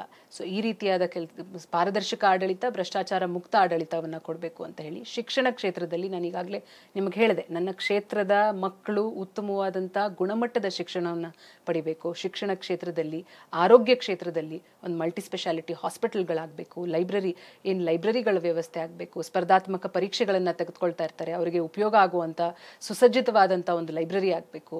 ಆರೋಗ್ಯ ಕ್ಷೇತ್ರಗಳಲ್ಲಿ ಕೆಲಸಗಳಾಗಬೇಕು. ಏನು ಇವಾಗ ಪ್ರೆಸೆಂಟ್ ಪಿ ಎಚ್ ಸಿಗಳಿದೆ ಅಲ್ಲಿನ ವ್ಯವಸ್ಥೆಗಳು ತೀರಾ ಹದಗೆಟ್ಟಂಥ ವ್ಯವಸ್ಥೆಗಳಿದೆ. ಅಲ್ಲಿ ಉನ್ನತವಾದಂಥ ಗುಣಮಟ್ಟವಾದಂಥ ಫೆಸಿಲಿಟೀಸ್ನ ಕೊಡಬೇಕು. ಈ ರೀತಿಯಾದ ಟ್ರಾಫಿಕ್ ಸಮಸ್ಯೆಗಳಿದ್ದಾವೆ ಸೊ ಇದನ್ನು ಬಗೆಹರಿಸಬೇಕು. ಪರಿಸರವನ್ನ ಸಂರಕ್ಷಣೆ ನಮ್ಮ ಯೂನಿವರ್ಸಿಟಿ ಕ್ಯಾಂಪಸ್ ನಮ್ಮ ಕ್ಷೇತ್ರಕ್ಕೆ ಬರುತ್ತೆ. Jnana Bharathi campus J P park ಅಂತಹ ಉದ್ಯಾನವನಗಳೇನಿದ್ದಾವೆ ಹಸಿರು ಏನು ತುಂಬಿದೆ ಲಂಗ್ ಸ್ಪೇಸ್ ಅಂತ ಏನು ಹೇಳ್ತಾರೆ, ಅದನ್ನು ನಾವು ಸಂರಕ್ಷಣೆ ಮಾಡಬೇಕು. ಈ ರೀತಿಯಾದ ಹತ್ತು ಹಲವು ಯೋಜನೆಗಳನ್ನು ರಾಜರಾಜೇಶ್ವರಿ ನಗರ ಕ್ಷೇತ್ರಕ್ಕೆ, ನನ್ನ ಕನಸಿನ ರಾಜರಾಜೇಶ್ವರಿ ಕ್ಷೇತ್ರ ಅನ್ನೋದಕ್ಕಿಂತ ಜನಗಳ ಕನಸಿನ ರಾಜರಾಜೇಶ್ವರಿ ನಗರ ವಿಧಾನಸಭಾ ಕ್ಷೇತ್ರವನ್ನು ಮಾಡಬೇಕು ಅನ್ನೋ ಒಂದು ಹಂಬಲವನ್ನು ನಾನು ತಟ್ಟು, ಅದೇ ಇಚ್ಛಾಶಕ್ತಿಯಿಂದ ನಾನು ಮುಂದೆ, ಜನಗಳ ಮುಂದೆ ಅದನ್ನು ಇಡ್ತಾ ಇದ್ದೇನೆ. ಕುಸುಮ ಅವರು ಇಷ್ಟೊಂದೆಲ್ಲ ಗ್ರೌಂಡ್ ವರ್ಕ್ ಮಾಡಿದ್ದಾರೆ, ಇಷ್ಟೆಲ್ಲ ವಿಚಾರ ತಿಳ್ಕೊಂಡಿದ್ದಾರೆ, ಇಷ್ಟೆಲ್ಲ ಕನ್ಸರ್ನ್ ಇಟ್ಕೊಂಡಿದ್ದಾರೆ. ಈ ಆರ್ ಆರ್ ನಗರ ಕ್ಷೇತ್ರ ಬಿಟ್ಟು ಯಾವ್ದಾದ್ರು ಒಂದು ಚಿಕ್ಕ ಕ್ಷೇತ್ರ ಇಟ್ಕೊಂಡಿದ್ರೆ ಶಾಸಕಿ ಆಗ್ಬಿಡ್ತಿದ್ರಿ ಅಂತ ಅನ್ನೋದು ಅಲ್ಲ ನಾನು ಹುಟ್ಟಿ ಬೆಳೆದಿದ್ದು ಇದೇ ಕ್ಷೇತ್ರದಲ್ಲಿ ರಾಜರಾಜೇಶ್ವರಿ ನಗರ ವಿಧಾನಸಭಾ ಕ್ಷೇತ್ರದಲ್ಲಿ ನಾನು ಹುಟ್ಟಿದ್ದು ಬೆಳೆದಿದ್ದು ವಿದ್ಯಾಭ್ಯಾಸ ಆಗಿದ್ದು ನಾನು ಶಾಲೆ ಕಲ್ತಿದ್ದು ಎಲ್ಲ ನನ್ನ ಕ್ಷೇತ್ರದ ವ್ಯಾಪ್ತಿಗೆ ಬರುತ್ತೆ. ಇಂಜಿನಿಯರಿಂಗ್ ಕೂಡ ನಾನು ಅದೇ ಕ್ಷೇತ್ರದಲ್ಲಿ ಮಾಡಿದ್ದಂತ. ನನ್ನ ಕ್ಷೇತ್ರವನ್ನು ಬಿಟ್ಟು ನಾನು ಬೇರೆ ಕ್ಷೇತ್ರಕ್ಕೆ ಹೋಗುವಂಥ ಪ್ರಮೇಯ ಬರೋದಿಲ್ಲ. ನಾನು ಒಂದು ಬಾರಿ ಉಪಚುನಾವಣೆಯಲ್ಲಿ ನಿಂತು ಸೋತಿರ್ಬೋದು. ಎಲ್ಲಿ ನಾವು ಕಳ್ಕೊಂಡಿರ್ತೀವೋ ಅಲ್ಲೇ ಹುಡುಕ್ಬೇಕೆ ಹೊರತು ಬೇರೆ ಕಡೆ ಹೋಗಿ ನಾನು ಗೆಲ್ಲುವ ಉದ್ದೇಶದಿಂದ ಬೇರೆ ಕಡೆ ಹೋಗಿ ಈಸಿ ಆಗುತ್ತೆ ನನಗೆ ಅನ್ನೋದಕ್ಕಿಂತ ಏನು ಎಲ್ಲಿ ನಾನು ಕಳ್ಕೊಂಡಿದ್ದೀನೋ ಅಲ್ಲೇ ಹುಡುಕುವಂಥ ಪ್ರಯತ್ನ, ಅಲ್ಲೇ ನನಗೆ ಹುಡುಕಿದ್ರೆ ನನಗೆ ಖಂಡಿತವಾಗ್ಲೂ ಜಯ ಸಿಗುತ್ತೆ ಅನ್ನೋ ಒಂದು ಆಸೆಯಿಂದ ನಾನು ಈ ಕ್ಷೇತ್ರವನ್ನ ಇನ್ನು ಮತ್ತೊಂದು ವಿಚಾರ ಮೊನ್ಮೊನ್ನೆ ಘಟನೆ ಉರಿಗೌಡ, ನಂಜೇಗೌಡ, ಅದಾಗಲೇ ಟೈಟಲ್ ರಿಜಿಸ್ಟರ್ ಮಾಡಿದ್ರು ಬಟ್ ನಿರ್ಮಾನಂದ ಶ್ರೀಗಳು ಕರೆದು ಮಾತಾಡಿದ್ಮೇಲೆ ಸಿನಿಮಾ ಮಾಡಲ್ಲ ಇನ್ನು ಮುಂದೆ ಅಂತ ಹೇಳಿದರು. ಸೊ ಇದೆಲ್ಲ, ಯಾಕೆಂದರೆ ಸಿನಿಮಾ ನಿರ್ಮಾಪಕರು ಕೂಡ ಹೌದು, ಮುನ್ರತ್ನ ಅವರು. ಸೊ ಈ ವಿಷಯ, ಯಾಕೆಂದರೆ ಒಕ್ಕಲಿಗ ಸಮುದಾಯಕ್ಕೆ ಸಂಬಂಧಪಟ್ಟಂಥ ವಿಚಾರ. ಈಗಾಗಲೇ ಇಲ್ಲಿ ಒಕ್ಕಲಿಗ ವರ್ಸಸ್ ನಾಡಿ, ಇವೆಲ್ಲ ಬೇರೆ ಬೇರೆ ಚರ್ಚೆ ಇರೋ ಕಾರಣ. ಇದೆಲ್ಲ ನಿಮ್ಮ ಕ್ಷೇತ್ರದಲ್ಲಿ ಏನಾದ್ರು ವರ್ಕೌಟ್ ಆಗುತ್ತಾ, ಚರ್ಚೆ ಆಗುತ್ತಾ ಇಂಪ್ಯಾಕ್ಟ್ ಆಗುತ್ತಾ? ನೋಡಿ, ಇವರು ಯಾವ ಉದ್ದೇಶದಿಂದ ಉರಿಗೌಡ, ನಂಜೇಗೌಡ ಒಂದು ಕಾಲ್ಪನಿಕ ಪಾತ್ರಗಳನ್ನ ಇಟ್ಕೊಂಡು ಸಿನಿಮಾ ಮಾಡಬೇಕು ಅಂತ ಹೇಳಿ ಮಾಡಿದ್ರು. ಎಲ್ಲೋ ಒಂದು ಕಡೆ ಒಕ್ಕಲಿಗರನ್ನ ಇಟ್ಕೊಂಡು ವ್ಯಾಪಾರ ಮಾಡುವಂಥ ಒಂದು ಪ್ರಯತ್ನವನ್ನ ಮುನಿರತ್ನವರು ಮಾಡಿದ್ರು. ನಮ್ಮ ಸಮಾಜದ ಶ್ರೀಗಳು ಇದನ್ನ ತಡೆ ಹಿಡಿಯುವಂಥ ಒಂದು ಕೆಲಸವನ್ನು ಕೂಡ ಮಾಡಿದ್ರು. ಯಾವುದೇ ಒಂದು ಜಾತಿ ಅಥವಾ ಮತದ ಆಧಾರದ ಮೇಲೆ ಅದನ್ನ ವ್ಯಾಪಾರ ಮಾಡುವಂತ ಒಂದು ಬುದ್ಧಿ ಇದೆಯಲ್ಲ ಜನಗಳು ಎಲ್ಲವನ್ನೂ ಗಮನಿಸ್ತಾ ಇದ್ದಾರೆ. ಇದೆಲ್ಲ ಚುನಾವಣಾ ವಸ್ತುವಾಗಿ ವರ್ಕೌಟ್ ಆಗುತ್ತಾ? ಜನ ಇದನ್ನ ಪರಿಗಣನೆ ಮಾಡ್ತಾರ?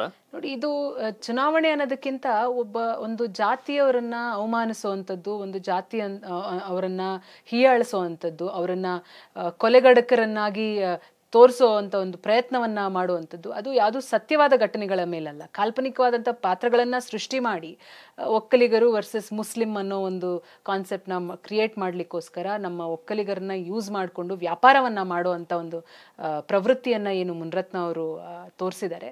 ಅದರ ವಿರುದ್ಧ ಖಂಡಿತವಾಗ್ಲೂ ಜನ ಧ್ವನಿ ಎತ್ತುತ್ತಾ ಇದ್ದಾರೆ ಅಂತಾನೆ ಅನ್ಸುತ್ತೆ. ಎಸ್ ಇನ್ನೊಂದು ವಿಚಾರ ಅಂತಂದ್ರೆ ಈಗಾಗಲೇ ಈ ಒಂದು ನಿಮ್ಮ ಕ್ಷೇತ್ರದಲ್ಲಿ ಆಗಲೇ ಒಂದಷ್ಟು ಬಹಳಷ್ಟು ವಿಷಯಗಳನ್ನ ನೀವು ಪ್ರಸ್ತಾಪ ಮಾಡ್ತಾ ಇದ್ರಿ. ಏನು ಡೆವಲಪ್ಮೆಂಟ್ ವಿಚಾರ ಬಂದಾಗ ಮಹಿಳೆಯರಿಗಾಗಿ ಒಂದಷ್ಟು, ಯಾಕಂದ್ರೆ ಗಾರ್ಮೆಂಟ್ಸ್ಗಳಿದೆ ಕ್ಯಾಬ್ ಡ್ರೈವರ್ಸ್ ಇದ್ದಾರೆ, ಇವೆಲ್ಲ ಬಹಳಷ್ಟು ಯಾಕಂದ್ರೆ ಬಿಕಾಸ್ ದುಡಿಯೋ ಜನಾಂಗಗಳೇ ಜಾಸ್ತಿ, ಜನರೇ ಜಾಸ್ತಿ ಅಲ್ಲಿ. ಸೊ ಆ ದಿಸಲ್ಲಿ ಏನು ಆಲೋಚನೆ ಇಟ್ಕೊಂಡಿದ್ದೀರಿ ನೀವು ಮಹಿಳೆಯರಿಗೆ? ನಮ್ಮ ಕ್ಷೇತ್ರದಲ್ಲಿ ದುಡಿಯೋ ವರ್ಗದವರು ಹೆಚ್ಚಿನ ಸಂಖ್ಯೆಯಲ್ಲಿದ್ದಾರೆ. ಅದೇ ಸಂಖ್ಯೆಯಲ್ಲಿ ಮಹಿಳೆಯರು ಕೂಡ ಸಾಕಷ್ಟು ಗಾರ್ಮೆಂಟ್ ವರ್ಕರ್ಸ್ ಇದ್ದಾರೆ. ನಮ್ಮಲ್ಲಿ ಎಲ್ಲೂ ಒಂದು ಸುಸಜ್ಜಿತ ಹೆರಿಗೆ ಆಸ್ಪತ್ರೆ ಇಲ್ಲ. ಸೊ ಈ ರೀತಿಯಾದ ಒಂದು ಹೆರಿಗೆ ಆಸ್ಪತ್ರೆ ಸುಸಜ್ಜಿತವಾದಂಥ ಹೆರಿಗೆ ಆಸ್ಪತ್ರೆಗಳು ಮಾಡಬೇಕಾಗಿರುವಂಥ ಯೋಚನೆಯನ್ನು ಕೂಡ ನಾವು ಇಟ್ಕೊಂಡಿದ್ದೀವಿ. ಅದೇ ರೀತಿ ಹೆಣ್ಮಕ್ಳು ಯಾವಾಗಲೂ ಆರ್ಥಿಕವಾಗಿ ಸ್ವಾವಲಂಬರಾಗಬೇಕು ಯಾವುದೇ ಒಂದು ಸಮಯದಲ್ಲೂ ಕೂಡ ಫೈನಾನ್ಷಿಯಲಿ ಇಂಡಿಪೆಂಡೆಂಟ್ ಆಗುವಂಥದ್ದು ಸ, ಇರಲೇಬೇಕು ಒಂದು ಹೆಣ್ಮಗಳಿಗೆ. ಸೊ ಆ ನಿಟ್ಟಿನಲ್ಲಿ ಯಾವ್ಯಾವ ಯೋಜನೆಗಳು ಅವರಿಗೆ ಒಂದು ಸಾಫ್ಟ್ ಸ್ಕಿಲ್ಸ್ ಇರ್ಬೋ ಇರುವಂಥದ್ದು ಇರ್ಬೋದು ಅಥವಾ ಆಂಟ್ರಪ್ರಿನರ್ಶಿಪ್ ಡೆವಲಪ್ ಮಾಡ್ಕೊಳ್ಳುವಂಥದ್ದು, ಸಣ್ಣ ಸಣ್ಣ ವ್ಯಾಪಾರ ಮಾಡಲಿಕ್ಕೆ ಬೇಕಾಗಿರುವಂಥ ಸೌಲಭ್ಯಗಳನ್ನ ಕಲ್ಪಿಸುವಂಥ ಉತ್ತಮವಾದಂಥ ಸೇವೆಗಳನ್ನು ಕೊಡುವಂಥ ಆಲೋಚನೆಯನ್ನು ನಾವು ಇಟ್ಕೊಂಡಿದ್ದೀವಿ ಸೇಫ್ಟಿ ಬಗ್ಗೆ ಕೂಡ ನಾವು ಹೆಣ್ಮಕ್ಳ ಸೇಫ್ಟಿ ಬಗ್ಗೆ ಕೂಡ ನಾನು ಸಾಕಷ್ಟು ಯೋಚನೆಗಳನ್ನು ಇಟ್ಕೊಂಡಿದ್ದೀನಿ ಎಸ್ ಮತ್ತೆ ಹಳೆ ವಿಚಾರಕ್ಕೆ ಬರೋದೇ ಆದ್ರೆ ಕುಮಾರಸ್ವಾಮಿ ಅವರು ಮುಖ್ಯಮಂತ್ರಿ ಆಗಿದ್ರು ಕಾಂಗ್ರೆಸ್ ಹಾಗೂ ಜೆ ಡಿ ಎಸ್ ಸಮ್ಮಿಶ್ರ ಸರ್ಕಾರ ಇತ್ತು. ಅದೊಂಥರ ವಿರೋಧಿ ದಿಕ್ಕಿನ ಮೈತ್ರಿ ಸೂರ್ಯಚಂದ್ರ ಮೈತ್ರಿ ಆದ ಮೈತ್ರಿ ಆಗಿತ್ತು. ಆ ಸರ್ಕಾರ ಆ, ಮುನರತ್ನ ಅವರು ರಾಜೀನಾಮೆ ಕೊಟ್ಟ ಪರಿಣಾಮನೇ ಒಂದಷ್ಟು ಜನ ರಾಜೀನಾಮೆ ಕೊಟ್ಟ ಪರಿಣಾಮ ಸರ್ಕಾರ ಬೀಳ್ತು. ಕುಮಾರಸ್ವಾಮಿ ಅವರು ರಾಜೀನಾಮೆ ಕೊಡುವಂಥ ಸನ್ನಿವೇಶ ನಿರ್ಮಾಣ ಆಯಿತು. ಡಿ ಕೆ ಶಿವಕುಮಾರ್ ಮತ್ತು ಕುಮಾರಸ್ವಾಮಿ ಇಬ್ಬರಿಗೂ ಸಹ ಒಂದು ಸವಾಲಿನ ಸರ್ಕಾರ ಆಗಿತ್ತದು ಸರ್ಕಾರವನ್ನು ಮಾಡಿದ್ರು. ಅದೇನಾರು ಇಂಪ್ಯಾಕ್ಟ್ ಆಗುತ್ತಾ ನಿಮ್ಮ ಕ್ಷೇತ್ರದಲ್ಲಿ? ಯಾಕೆಂದರೆ ಈ ಡಿ ಕೆ ಸುರೇಶ್ ಅವರು ಕೂಡ ಈಗಾಗಲೇ ಹೇಳಿದೆ ಲೋಕಸಭಾ ಸದಸ್ಯರಲ್ಲಿ ಒಂದ್ ರೀತಿ ಮುನ್ರತ್ನ ವಿರುದ್ಧ ಯಾಕಂದ್ರೆ ಸರ್ಕಾರ ಕೆಡದಂತ ಮುನ್ರತ್ನ ಅವ್ರನ್ನ ಸೋಲಿಸಬೇಕು ಅನ್ನೋ ಲೆಕ್ಕಾಚಾರಗಳೇನಾರ ಇದೆಯಾ ಡಿ ಕೆ ಶಿವಕುಮಾರ್ ಅವ್ರಿಗೆ? ಅಲ್ಲ ಡಿ ಕೆ ಶಿವಕುಮಾರ್ ಅವ್ರಿಗಿಂತ ಹೆಚ್ಚಾಗಿ ಈ ಬೆಳವಣಿಗೆಗಳೇನು ಸಮ್ಮಿಶ್ರ ಸರ್ಕಾರವನ್ನ ಪತನ ಆಗ್ಲಿಕ್ಕೆ ಯಾರೆಲ್ಲ ಸಹಾಯ ಮಾಡಿದ್ರು. ಏನಿ ಜ ಹದಿನೇಳು ಜನಗಳು ಹೋಗಿ ಬೇರೆ ಪಕ್ಷಕ್ಕೆ ಬಿಜೆಪಿಗೆ ಸೇರ್ಕೊಂಡು ಮತ್ತೆ ಚುನಾವಣೆಯನ್ನ ಮಾಡಿ ಸ್ಪರ್ಧೆ ಮಾಡಿ ಯಾರೆಲ್ಲ ಅದಕ್ಕೆ ಸಹಕರಿಸಿದ್ರು ಸಮ್ಮಿಶ್ರ ಸರ್ಕಾರದ ಪತನಕ್ಕೆ ಸಹಕರಿಸಿದ್ರು ಇದನ್ನೆಲ್ಲ ಜನಗಳು ನೋಡ್ತಾ ಇದ್ದಾರೆ ಡಿ ಕೆ ಶಿವಕುಮಾರ್ ಅವ್ರು ಮಾತ್ರ ಅಥವಾ ಸುರೇಶ್ ಅವ್ರು ಮಾತ್ರ ಇವರು ಸೋಲ್ಬೇಕು ಅನ್ನೋವಂಥ ಉದ್ದೇಶ ಅಂತ ಅಲ್ಲ. ಜನಗಳು. ಕುಮಾರಸ್ವಾಮಿ ಅವರು ಸಹಿತ ಜನಗಳು ತೀರ್ಮಾನ ಮಾಡ್ತಾ ಇದ್ದಾರೆ ಒಂದು ಸರ್ಕಾರವನ್ನ ತೆಗೆಯೋದಕ್ಕೆ ಒಂದು ಪಕ್ಷದಲ್ಲಿ ಗೆದ್ದು ಅಧಿಕಾರದ ಆಸೆಯಿಂದ ಮಾರಾಟವಾಗಿ ಇನ್ನೊಂದು ಪಕ್ಷಕ್ಕೆ ಜಂಪ್ ಆಗ್ ಆಗಿರುವಂಥ ರಾಜಕಾರಣ ಬಹುಶಃ ಜನಗಳಿಗೆ ಒಪ್ಲಿಕ್ಕೆ ಸಾಧ್ಯ ಇಲ್ಲ. ಸೊ ಅದನ್ನ ಅವರಿಗೆ ತಕ್ಕ ಪಾಠವನ್ನ ಕಲಿಸುವಂಥದ್ದು ಈ ಸಾರ್ವತ್ರಿಕ ಚುನಾವಣೆಯಲ್ಲಿ ಖಂಡಿತವಾಗ್ಲೂ ಜನ ಮಾಡ್ತಾರೆ. ಎಸ್ ಒಟ್ಟಾರೆಯಾಗಿ ನೀವು ಹೇಳೋ ಪ್ರಕಾರ ಒಟ್ಟಾರೆ ಸಾರಾಂಶ ನೋಡೋದಾದ್ರೆ ಕ್ಷೇತ್ರದಲ್ಲಿ ಒಂದಷ್ಟು ದಬ್ಬಾಳಕೆ, ಕ್ಷೇತ್ರದಲ್ಲಿ ಡೆವಲಪ್ಮೆಂಟ್ ಇನ್ನೂ ಆಗಬೇಕಾಗಿರೋ ಪೆಂಡಿಂಗ್ ಇರೋ ಹಿನ್ನೆಲೆ ಕ್ಷೇತ್ರದಲ್ಲಿ ಇನ್ನೂ ಅಕ್ಕೋಪಕ ಅಕ್ಕೋಪತ್ರ ಕೊಡದೇ ಇರತಕ್ಕಂಥದ್ದು. ಈ ಉರಿಗೌಡ ನಂಜೇಗೌಡ ಕಾನ್ಸೆಪ್ಟು ಜೊತೆಗೆ ಒಕ್ಕಲಿಗ ಮುಖ್ಯಮಂತ್ರಿ ಯಾರು ಡಿ ಕೆ ಯಾರು ಕುಮಾರಸ್ವಾಮಿ ಅವರು ಸಿ ಎಂ ಆಗಿದ್ದಾಗ ಸರ್ಕಾರ ಕೆಡವಿದ್ದು. ಇವೆಲ್ಲವೂ ಸಹ ಮುನ್ರತ್ನಾಗೆ ವಿರುದ್ಧ ಆಗತ್ತೆ. ಹೆಚ್ಚುವರಿ ಮತಗಳನ್ನ ನಾನು ಪಡ್ಕೊಂಡು ಗೆದ್ದು ಗೆಲ್ತೀನಿ ಅನ್ನೋ ಕಾನ್ಫಿಡೆನ್ಸ್ ನಿಮ್ಮದು ಖಂಡಿತವಾಗ್ಲೂ ಈ ಬಾರಿ ಕಾಂಗ್ರೆಸ್ ಪಕ್ಷದ ವತಿಯಿಂದ ಏನು ನಾನು ಚುನಾವಣೆಗೆ ಸ್ಪರ್ಧೆ ಮಾಡ್ತಾ ಇದ್ದೀನಿ ರಾಜರಾಜೇಶ್ವರಿ ನಗರ ವಿಧಾನಸಭಾ ಕ್ಷೇತ್ರದಲ್ಲಿ. ಈ ಬಾರಿ ನನ್ನ ಕ್ಷೇತ್ರದ ಜನ ನನ್ನನ್ನು ಜೈಬೇರಿಯನ್ನಾಗಿ ಬಾ ಮಾಡ್ತಾರೆ ಅಂತ ನನಗೆ ಆತ್ಮವಿಶ್ವಾಸ ಇದೆ. Hundred percent. ಎಸ್ ಯಾವುದೇ ಡೌಟ್ ಇಲ್ಲ. ಡೌಟ್ ಇಲ್ಲ. ಮಾಡ್ತಾ ಇದ್ದೀನಿ. ಘಟಾನ್ಘಟಿ ನಾಯಕರೇ ಕ್ಷೇತ್ರ ಬಿಟ್ಟು ಬೇರೆ ಕಡೆ ಹೋಗ್ಬಿಡ್ತಾರೆ. ಕುಸುಮ್ ಅವ್ರ ಹಂಗೆ ಹೋಗ್ಬ ನಾನು ಮೊನ್ನೆ ಆಗ್ಲೇ ನೀವು ನಾ ಆಫ್ ರೆಕಾರ್ಡ್ ಮಾತಾಡ್ಬೇಕಾದ್ರೆ ಹೇಳ್ತಾರೆ ಅಯ್ಯೋ ಪಾಪ ಯಾಕೆ ಇಲ್ಲಿ ಕಂಟೆಸ್ಟ್ ಮಾಡ್ಬೇಕೆಲ್ಲಾರ ಹೋದ್ರೆ ಆಯ್ತು ಅಂತ. ನೀವು ಹೇಳ್ತಿದ್ರಿ "ಏ, ಅಯ್ಯೋ ಪಾಪ ಯಾಕೆ ನಾನು ಅಲ್ಲೇ ನಿಲ್ಬೇಕು ಅಂತ. ನಿಮ್ಮ ನಿಮ್ ಧೈರ್ಯ ಮೆಚ್ಚಬೇಕು ಬಟ್ ಈ ಕ್ಷೇತ್ರದಲ್ಲಿ ಡಿ ಕೆ ಸುರೇಶ್ ಸಂಸದರು ಬೆಂಗಳೂರು ಗ್ರಾಮಾಂತರ ಇದಕ್ಕೆ. ಡಿ ಕೆ ಸುರೇಶ್ ಅವ್ರಿಗೆ ಲೀಡ್ ಆಗಲ್ಲ ಈ ಕ್ಷೇತ್ರ. ಆರ್ ಆರ್ ನಗರದಲ್ಲಿ ಲೋಕಸಭೆ ಬಂದಾಗ ಆರ್ ಆರ್ ನಗರ ಸೆಗ್ಮೆಂಟಲ್ಲಿ ಲೀಡ್ ಆಗಲ್ಲ. ಸೊ ಇಂಥ ಸನ್ನಿವೇಶದಲ್ಲಿ ನಾನು ಪದೇ ಪದೇ, ಯಾಕಂದರೆ ಏನು ಶಿವು, ಯಾವಾಗಲೂ ಬರೀ ನೆಗೆಟಿವೇ ಮಾತಾಡ್ತಾರಪ್ಪ ಇವ್ರೇನು ಹೇಳೋದೇ ಇಲ್ಲ ನಮ್ಮನ್ನು. ಹಿಂಗೇನು ಅನ್ಕೋಬೇಡಿ ಬಟ್ ಏನೇ ಆದರೂ ಕೂಡ ಕಾಂಗ್ರೆಸ್ಗೆ ಆಗಲೇ ಹೇಳಿದಂತೆ ಟಫ್ ಬಟ್ ನೀವು ಹೆಂಗೆ ಅಂದ್ಕೊಂಡಿರೋದೇನೋ ನಾನು ಎಲ್ಲಿ ಸೋತೆ, ಅಲ್ಲೇ ಗೆಲ್ಲಬೇಕು ಅಂತ ಪಣ ತೊಟ್ಟಿದ್ದೀರಿ ಜನರ ರೆಸ್ಪಾನ್ಸ್ ಈಗ ಒಂದು ಕಡೆ ಒಂದೊಂದು ಥರ ಇರುತ್ತೆ ಚೇಂಜಸ್ ಇರುತ್ತೆ. ಜನ ಏನಂತಾರೆ, ಎಸ್, ನೀವು ಗೆಲ್ತೀರಿ, ಚುನಾವಣೆ ಮಾಡಿ ಅಂತ ಹೇಳ್ತಾರ? ಬೆಳಿಗ್ಗೆ ಡೈಲಿ ಹೋಗ್ತಿರಲ್ಲ ಜನಗಳ ಹತ್ರ ಹೋದಾಗ? ಹೌದು. ಜನ ನನಗೆ ಅಷ್ಟೇ ವಿಶ್ವಾಸವನ್ನ ಆತ್ಮಸ್ಥೈರ್ಯವನ್ನ ತುಂಬ್ತಾ ಇದ್ದಾರೆ. ಇಲ್ಲ ನಿಮ್ಗೆ ಈ ಬಾರಿ ಅವಕಾಶ ಇದೆ ಮಾಡ್ತೀವಿ ನಾವು ಅಂತಲೂ ಹೇಳ್ತಾ ಇದ್ದಾರೆ. ನೀವು ಹೇಳಿದ್ರಿ ನಮ್ಮದು ಬೆಂಗಳೂರು ಗ್ರಾಮಾಂತರ ಲೋಕಸಭಾ ಕ್ಷೇತ್ರಕ್ಕೆ ಬರುತ್ತೆ ಅಂತ. ಅಂತಹ ಭಾಳ ಟಫ್ ಫೈಟ್ ಇದ್ದಾಗಲೇ ಎರಡು ಸಾವಿರದ ಹತ್ತೊಂಬತ್ತರ ಚುನಾವಣೆಯಲ್ಲಿ ಅಷ್ಟು ಜನ ಸಂಸದರಲ್ಲಿ ಒಬ್ರು ಏಕೈಕ ಸಂಸದರ ಆಯ್ಕೆ ಆಗಿದ್ದು ಕಾಂಗ್ರೆಸ್ ಪಕ್ಷದಿಂದ ಅಂದರೆ ಡಿ ಕೆ ಸುರೇಶ್ ಸರ್ ಅವರು. ಅಷ್ಟು ಪ್ರೀತಿಯನ್ನ ಜನ ಅವರಿಗೆ ಕೊಟ್ಟಿದ್ದಾರೆ ಅವರ ಕೆಲಸದ ವೈಖರಿಯನ್ನ ನೋಡಿ ಅವರಿಗೆ ವಿಶ್ವಾಸವನ್ನ ತೋರಿಸಿದ್ದಾರೆ. ಸೊ ಅಂಥ ಸಂಸದರು ನಮ್ಮ ಕ್ಷೇತ್ರಕ್ಕೂ ಕೂಡ ಬಹಳಷ್ಟು ಮಾರ್ಗದರ್ಶನವನ್ನ ಮಾಡ್ತಾ ಇದ್ದಾರೆ. ನಮ್ಮ ಕ್ಷೇತ್ರದ ಜನ ನಾವೇನು ಅಭಿವೃದ್ಧಿ ಅಂತ ಹೇಳ್ತಾ ಮಾತಾಡ್ತಾ ಇದ್ದೀವಲ್ಲ ಅಭಿವೃದ್ಧಿಯನ್ನೇ ಮಾಡಿರುವಂಥವ್ರು ಕುಕ್ಕರು ಸೀರೆ ಹಂಚುವಂಥ ಅವಶ್ಯಕತೆ ಇರಲ್ಲ. ಅಭಿವೃದ್ಧಿ ಏನು? ಮುನಿತ ರತ್ನ ಅವರು ಕುಕ್ಕರು ಸೀರೆಯನ್ನ ಹಂಚಿ ಏನೋ ಹಬ್ಬಕ್ಕೆ ಪ್ರೀತಿಯಿಂದ ಏನೋ ಕೊಡ್ತಿರ್ತಾರಪ್ಪ. ಅದೇ ಹಬ್ಬಕ್ಕೆ ಪ್ರೀತಿ ಅಂತ ಹೇಳಿ ಅರವತ್ತೆಂಬತ್ತು ರೂಪಾಯಿ ಸೀರೆಯನ್ನ ಹಂಚುವಂತದ್ದು ಕುಕ್ಕರ್ ಹಂಚುವಂತ ನಿಜ ಅಷ್ಟೊಂದು ಕಡಿಮೆ ಅದ. ಜನಗಳನ್ನ ಹೋಗಿ ಕೇಳಿ. ನಾನು ಹೇಳೋದಕ್ಕಿಂತ ನಾನು ಹೇಳಿದ್ರೆ ಇದು ರಾಜಕಾರಣ ಅರವತ್ತೆಂಬತ್ತು ರೂಪಾಯಿ ಸೀರೆ. ಜನಗಳಿಗೆ ಹೋಗಿ ನೀವು ಕೇಳಬೇಕಾಗತ್ತೆ. ಸೊ ಅಭಿವೃದ್ಧಿಯನ್ನ ಇಟ್ಕೊಂಡು ನಾವು ಮತ ಕೇಳ್ತೀವಿ ಅನ್ನೋರು ಯಾರು ಇವಾಗ ಇವ್ರು ಹೋಗ್ಬಿಟ್ಟು ಸೀರೆ ಹಂಚೋದು ಕುಕ್ಕರ್ ಹಂಚೋದು ಅದನ್ನ ಮಾಡುವಂಥದ್ದಿಲ್ಲ. ಅಂದ್ರೆ ನೀವು ಕೊಡೋದು ಕೊಡಿ ಕ್ವಾಲಿಟಿ ಕೊಡಿ ಯಾಕಷ್ಟು ಕಡಿಮೆ ಕೊಡ್ತೀರಿ ಅಂತನಾ? ಅಲ್ಲ ಹಾಗಂತ ಹೇಳ್ತಿಲ್ಲ ಬಟ್ ಯಾಕೆ ಅಭಿವೃದ್ಧಿ ಅಂತ ಮಾಡಿದ್ದೀನಿ ನಾನು ಕೆಲಸ ಮಾಡಿದ್ದೀನಿ ನನಗೆ ಮತ ಹಾಕಿ ಅಂತ ಯಾಕೆ ಹೇಳಬಾರ್ದು? ಅಷ್ಟೆಲ್ಲ ನಾನು ಅಭಿವೃದ್ಧಿ ಮಾಡಿದ್ದೀನಿ ಸರ್ವಾಂಗೀಣ ಅಭಿವೃದ್ಧಿ ಮಾಡಿದ್ದೀನಿ ಅಂತ. ಹಕ್ಕುಪತ್ರಗಳನ್ನ ಕೈಯಲ್ಲಿ ಇಟ್ಕೊಂಡು ಹೆದರ್ಸ್ಕೊಂಡು ಜನಗಳಿಗೆ ಓಟ್ ಹಾಕ್ಲಿಕ್ಕೆ ಬಿಡ್ತಾ ಇಲ್ಲ ಅಂತ ಹಕ್ಕುಪತ್ರಗಳನ್ನ ಇಷ್ಟು ವರ್ಷ ಬೇಕಾಗಿತ್ತ ಹಕ್ಕುಪತ್ರಗಳನ್ನ ಇಶ್ಯೂ ಮಾಡೋದಕ್ಕೆ. ಎಷ್ಟು ಕ್ಷೇತ್ರದಲ್ಲಿ? ಎಷ್ಟು ಕಡೆ ಹಕ್ಕು ಪತ್ರಗಳನ್ನ ಪಾರ್ಶಿಯಲಿ ಡಿಸ್ಟ್ರಿಬ್ಯೂಟ್ ಮಾಡಿದ್ದಾರೆ ಇನ್ನ ಮಿಕ್ಕಿದ ಅವ್ರ ಕೈಯಲ್ಲಿ ಇಟ್ಕೊಂಡಿದ್ದಾರೆ ಎಲ್ಲಿ ಅವರಿಗೆ ಹಕ್ಕು ಪತ್ರಗಳನ್ನ ವಿತರಣೆ ಮಾಡಿಬಿಟ್ರೆ ನೆಕ್ಸ್ಟ್ ನನಗೆ ಹಿಡಿತದಲ್ಲಿ ಅವ್ರು ಸಿಗೋದಿಲ್ಲ ನನಗೆ ಓಟ್ ಹಾಕೋದಿಲ್ಲ ಅನ್ನೋ ಒಂದು ಒಂದೇ ಕಾರಣಕ್ಕೆ ಇನ್ನು ಹಕ್ಕುಪತ್ರಗಳ ವಿತರಣೆ ಆಗಿಲ್ಲ. ಮನೆಗಳ ಅರ್ಧರ್ಧ ಇದಕ್ಕೆ ಬಿಟ್ಟಿದೆ. ಸ್ಲಮ್ಗಳು ಇನ್ನೂ ಹಾಗೇ ಇದೆ. ಸ್ಲಮ್ಗಳನ್ನು ನೀವು ಉದ್ಧಾರ ಮಾಡಿದ್ರೆ ಅವರಿಗೆ ಒಳ್ಳೆ ಶಿಕ್ಷಣವನ್ನ ಕೊಟ್ರೆ, ಅವ್ರಿಗೆ ಅವ್ರನ್ನ ಸಮಾಜಕ್ಕೆ ಸರಿಯಾದ ರೀತಿಯಲ್ಲಿ ತೋರಿಸಿದ್ರೆ ಅವರು ಒಂದು ನಿರ್ಧಾರಕ್ಕೆ ಬರ್ತಾರೆ. ಯಾರು ಆಯ್ಕೆ ಮಾಡಬೇಕು ಯಾರನ್ನ ಆಯ್ಕೆ ಮಾಡಬಾರ್ದು ಅಂತ. ನಾವು ಆ ತನ್ನ ಸಂದರ್ಭನೇ ಕ್ರಿಯೇಟ್ ಮಾಡಿದೆ. ಅವ್ರಿಗೆ ಆ ಅವಕಾಶಗಳನ್ನು ಕ್ರಿಯೇಟ್ ಮಾಡಿದೆ. ಸ್ಲಮ್ಮಲ್ಲಿರೋರು ಎಲ್ಲರೂ ಹಾಗೆ ಇದ್ದಾರೆ ಹತ್ತು ವರ್ಷ ಬೇಕಾ ಒಂದು ಸ್ಲಮ್ನ ಉದ್ಧಾರ ಮಾಡೋದಕ್ಕೆ ಅಥವಾ ಡೆವಲಪ್ ಮಾಡೋದಕ್ಕೆ? ಎಲ್ಲರೂ ಅದೇ ಪರಿಸ್ಥಿತಿಯಲ್ಲಿದ್ದಾರೆ. ಸೊ ಈ ರೀತಿಯಾದ ಅಭಿವೃದ್ಧಿ ರಾಜರಾಜೇಶ್ವರಿ ನಗರಕ್ಕೆ ಬೇಕಾ? ಬರೀ ಹೊಡಿ ಕಡಿ ಬಡಿ ಈ ರೀತಿ ರಾಜಕಾರಣ ಮಾಡುವಂತ ರಾಜಕಾರಣಿಗಳು ನಮ್ಮ ಕ್ಷೇತ್ರದ ಪ್ರಬುದ್ಧ ಮತದಾರರು ಏನಿದ್ದಾರೆ ಅವರಿಗೆ ಅವಶ್ಯಕತೆ ಇದೆಯಾ? ನಮ್ಮ ಕ್ಷೇತ್ರದ ಯುವಕರು ಏನಿದ್ದಾರೆ ಜ ಕೆಲಸ, ಉದ್ಯೋಗ ಮಾಡುವಂತ ಯುವಕರಿಗೆ ಕೆಲಸಗಳಿಲ್ಲ. ಈ ರೀತಿ ಯಾವುದೇ ಒಂದು ಯುವಕರಿಗೆ, ಯುವ, ಯುವಕರಿಗಾಗ್ಲಿ, ಮಹಿಳೆಯರಿಗಾಗ್ಲಿ ಒಂದು ಯೋಜನೆಯನ್ನ ರೂಪಿಸದೇ ಇರುವಂಥ ಶಾಸಕರ, ಸಚಿವರ ಅವ್- ಅವಶ್ಯಕತೆ ಇದೆಯಾ ಅಂತ ನಮ್ಮ ಪ್ರಬುದ್ಧ ಮತದಾರರು ಯೋಚನೆ ಮಾಡಬೇಕಾಗತ್ತೆ. ದೊಡ್ಡ ದೊಡ್ಡ ಪಟ್ಟಿ ಹೇಳ್ತಾ ಇದ್ದೀರಿ. ಎಂತ ಘಟಾನುಘಟಿಗಳ ವಿರೋಧ ಮಾಡೋಕ್ಕಾಗದೆ ಅವ್ರ ಹತ್ರ ಕಾಂಪ್ರಮೈಸ್ ಆಗಿ ಕೂತ್ಬಿಟ್ಟಿದ್ದಾರೆ. ನೀವು ಮಾತ್ರ ಹಕ್ಕುಪತ್ರ ಕೊಡದೆ ಆಟ ಆಡಿಸಿದ್ದಾರೆ. ಅರವತ್ತು ಎಪ್ಪತ್ತು ರೂಪಾಯಿ ಸೀರೆ ಕೊಟ್ಕೊಂಡು ಕುಕ್ಕರ್ ಕೊಟ್ಕೊಂಡು ಡೆವಲಪ್ಮೆಂಟ್ ಆಗಿರೋ ಅದ್ರ ಮೇಲೆ ಚುನಾವಣೆ ಮಾಡಬೇಕು. ಯಾಕೆ ಇವೆಲ್ಲ ಹಂಚಬೇಕು ಅಂತ ದೊಡ್ಡ ಮಟ್ಟಕ್ಕೆ ಗಂಭೀರವಾದಂಥ ಆರೋಪಗಳಿವು. ಗಂಭೀರವಾದಂಥ ಆರೋಪಗಳು ಮುನ್ರತ್ನ ಅವ್ರ ವಿರುದ್ಧ. ಜನ ಎಲ್ಲವನ್ನೂ ಯಾವುದನ್ನು ಕೂಡ ಅತಿ ಹೆಚ್ಚು ಸಹಿಸ್ಕೊಳ್ಳಲ್ಲ. ಬಟ್ ಜನ ಅವ್ರಿಗೆ ಓಟ್ ಹಾಕ್ತಿದಾರಲ್ಲ ಅಂತ ನಾನು ಕೇಳೋದು ನಿಮಗೆ. ನೋಡಿ, ಯಾವುದಾದ್ರೂ ಒಂದು ಕ್ಷೇತ್ರ ಚುನಾವಣೆ ನಡೆಯೋ ಸಂದರ್ಭದಲ್ಲಿ ಮುಂದಕ್ಕೆ ಹೋಗಿರುವಂತ ಕ್ಷೇತ್ರ ಅಂದ್ರೆ ಚುನಾವಣೆ ಆಗ್ಬೇಕಾಗಿದ್ದ ಡೇಟ್ಸ್ ಬಿಟ್ಟು ಬೇರೆ ಪ್ರತ್ಯೇಕವಾಗಿ ಚುನಾವಣೆ ನಡೆದಂತ ಕ್ಷೇತ್ರ ಅಂತಂದ್ರೆ ರಾಜರಾಜೇಶ್ವರಿ ನಗರ ವಿಧಾನಸಭಾ ಕ್ಷೇತ್ರ. ಅದು ಯಾವ ಕಾರಣಕ್ಕಾಗಿದೆ ಅಂತ ಇಡೀ ಕರ್ನಾಟಕ ಜನತೆಗೆ ಗೊತ್ತು. ಫೇಕ್ ವೋಟರ್ ಐ ಡಿಸ್ ಏನ್ ಸಿಕ್ತು ಆ ಕಾರಣದಿಂದಾಗಿ ಇವರು ವಿರುದ್ಧ ಸಿಕ್ಕಿದ್ದಂಥ ಕಾರಣದಿಂದಾಗಿ ಚುನಾವಣೆನೇ ಮುಂದೆ ಹೋದಂಥ ಕ್ಷೇತ್ರ ನಮ್ಮ ರಾಜರಾಜೇಶ್ವರಿ ನಗರ ವಿಧಾನಸಭಾ ಕ್ಷೇತ್ರ. ನೀವು ಆ ಮಟ್ಟದಲ್ಲಿ ನಾವು ಎಲೆಕ್ಷನ್ ಕಮಿಷನ್ ಅವ್ರ ಕಂಪ್ಲೇಂಟ್ ಕೂಡ ಮಾಡಿದೀವಿ. ತುಂಬಾ ಜನದ ವೋಟ್ಗಳನ್ನು ಡಿಲೀಟ್ ಮಾಡಿದ್ದಾರೆ. ಬೇರೆ ಕಡೆಯಿಂದ ಬಂದು ವೋಟ್ ಹಾಕುವಂಥ ಜನಗಳು ಹೆಚ್ಚಿದ್ದಾರೆ. ಅಲ್ಲಿ ವಾಸನೇ ಇಲ್ಲದೆ ಹೋದರೂ ಅವ್ರ ವೋಟ್ ವೋಟರ್ ಐ ಡಿಗಳು ಇದಾವೆ. ಈ ರೀತಿ ಮೂವತ್ತ್ ನಲ್ವತ್ತು ಸಾವಿರ ಓಟ್ಸ್ನ ಅವರು ಫೇಕ್ ಓಟ್ಸ್ನ ಮಾಡ್ಕೊಂಡು ಇಟ್ಕೊಂಡಿರ್ಬೇಕಾದ್ರೆ ಜನ ವೋಟ್ ಹಾಕ್ತಾರೆ ಅನ್ನೋದಕ್ಕೆ ನಾವು ಈಗಲೂ ಈಗಲೂ ಕೂಡ ಇದೆ. ಮೂವತ್ತ್ ನಲ್ವತ್ತು ಸಾವಿರ ಫೇಕ್ ನಾವು ಅದನ್ನೇ ಕಂಪ್ಲೇಂಟ್ ಕೊಟ್ಟಿದ್ವಿ ಎಲೆಕ್ಷನ್ ಕಮಿಷನ್ ಈಗಲೂ? ಹೌದು. ಈಗಲೂ ಕೂಡ ಮೂವತ್ ನಲ್ವತ್ ಸಾವಿರ votes fake votes Rajarajeshwari Nagar ವಿಧಾನಸಭಾ ಕ್ಷೇತ್ರದಲ್ಲಿ ಇದೆ. ಅವರ ಅದನ್ನ ಅವರ ಬತ್ತಳಿಕೆಯಲ್ಲಿ ಇಟ್ಕೊಂಡಿದ್ದಾರೆ. ಕುಸು ಕುಸುಮ ಅವರ ಮಾತುಗಳೆಲ್ಲ ಇದೆಲ್ಲ ಡಿ ಕೆ ಶಿವಕುಮಾರ್ ಆಡಿಸ್ತಾ ಇರೋ ಮಾತುಗಳು. D K Shivakumar D K Suresh ಅವರು ಮುನ್ರತ್ನ ಅವ್ರನ್ನ ಸೋಲ್ಸ್ಬೇಕು ಅಂತ ಕುಸುಮ ಅವ್ರ ಹತ್ರ ಸುಳ್ಳು ಹೇಳಿಸಿದ್ದಾರೆ ಅಂತ ಅಂತಾರಪ್ಪ ಆಮೇಲೆ. ಸುಳ್ಳು ಹೇಳೋ ಅವಶ್ಯಕತೆ ಇಲ್ಲ. ಇದು ಯಾವುದು ಕ್ಲೋಸ್ಡ್ ಬುಕ್ಕಲ್ಲಿಲ್ಲ ಎಲ್ಲ ತೆರೆದ ಪುಸ್ತಕ. ಗಲ್ಲಿ ಗಲ್ಲಿಲೂ ಜನಗಳಿಗೆ ಗೊತ್ತಿದೆ. ರಾಜರಾಜೇಶ್ವರಿ ನಗರ ವಿಧಾನಸಭಾ ಕ್ಷೇತ್ರ ಯಾವ್ದಕ್ ಫೇಮಸ್ ಅಂತ ನೀವು ರಾಜ್ಯದ ಯಾವುದೇ ಜನನ ಹೋಗಿ ಕೇಳಿದ್ರು ಅವ್ರು ಹೇಳದೆ ಫೇಕ್ ವೋಟರ್ ಐ ಡಿ ಪ್ರಕರಣದಲ್ಲಿ. ಈಗಲೂ ಕೂಡ ನಾವು ಆರೋಪ ಮಾಡುವಂತದ್ದಲ್ಲ ಅವರದೇ ಪಕ್ಷದ ಎಂ ಎಲ್ ಸಿ ಆಗಿರುವಂತ ಮುನಿರಾಜ್ ಗೌಡ್ರು ಈಗಲೂ ಕೋರ್ಟ್ ಅಲ್ಲಿ ಕೇಸ್ನ ನಡೆಸ್ತಾ ಇದ್ದಾರೆ ಅವರೇ ಸ್ವತಃ ಹಾಜರಾಗಿ ಹೇಳಿಕೆಗಳನ್ನ ಕೊಡ್ತಾ ಇದ್ದಾರೆ ಇದು ನಾನಾಗ್ಲಿ ಅಥವಾ ಡಿ ಕೆ ಶಿವಕುಮಾರ್ ಆಗ್ಲಿ ಡಿ ಕೆ ಸುರೇಶ್ ಅವರಾಗ್ಲಿ ಹೇಳುವಂತ ಅವಶ್ಯಕತೆ ಅನಿವಾರ್ಯತೆ ಇಲ್ಲ. ಅವ್ರದೇ ಪಕ್ಷದ ಎಂ ಎಲ್ ಸಿ ಆಗಿರುವಂತ ಮುನಿರಾಜ್ ಗೌಡ್ರು ಹೋಗ್ಬಿಟ್ಟು ಕೋರ್ಟ್ ಅಲ್ಲಿ ಹೇಳಿಕೆಯನ್ನ ಇದೆಲ್ಲ ಮಾಡಿದ್ದು ಮುನ್ರತ್ನ ಅವರು ಕಾಂಗ್ರೆಸ್ ಅಲ್ಲಿ ಇದ್ದಾಗ ತಾನೆ?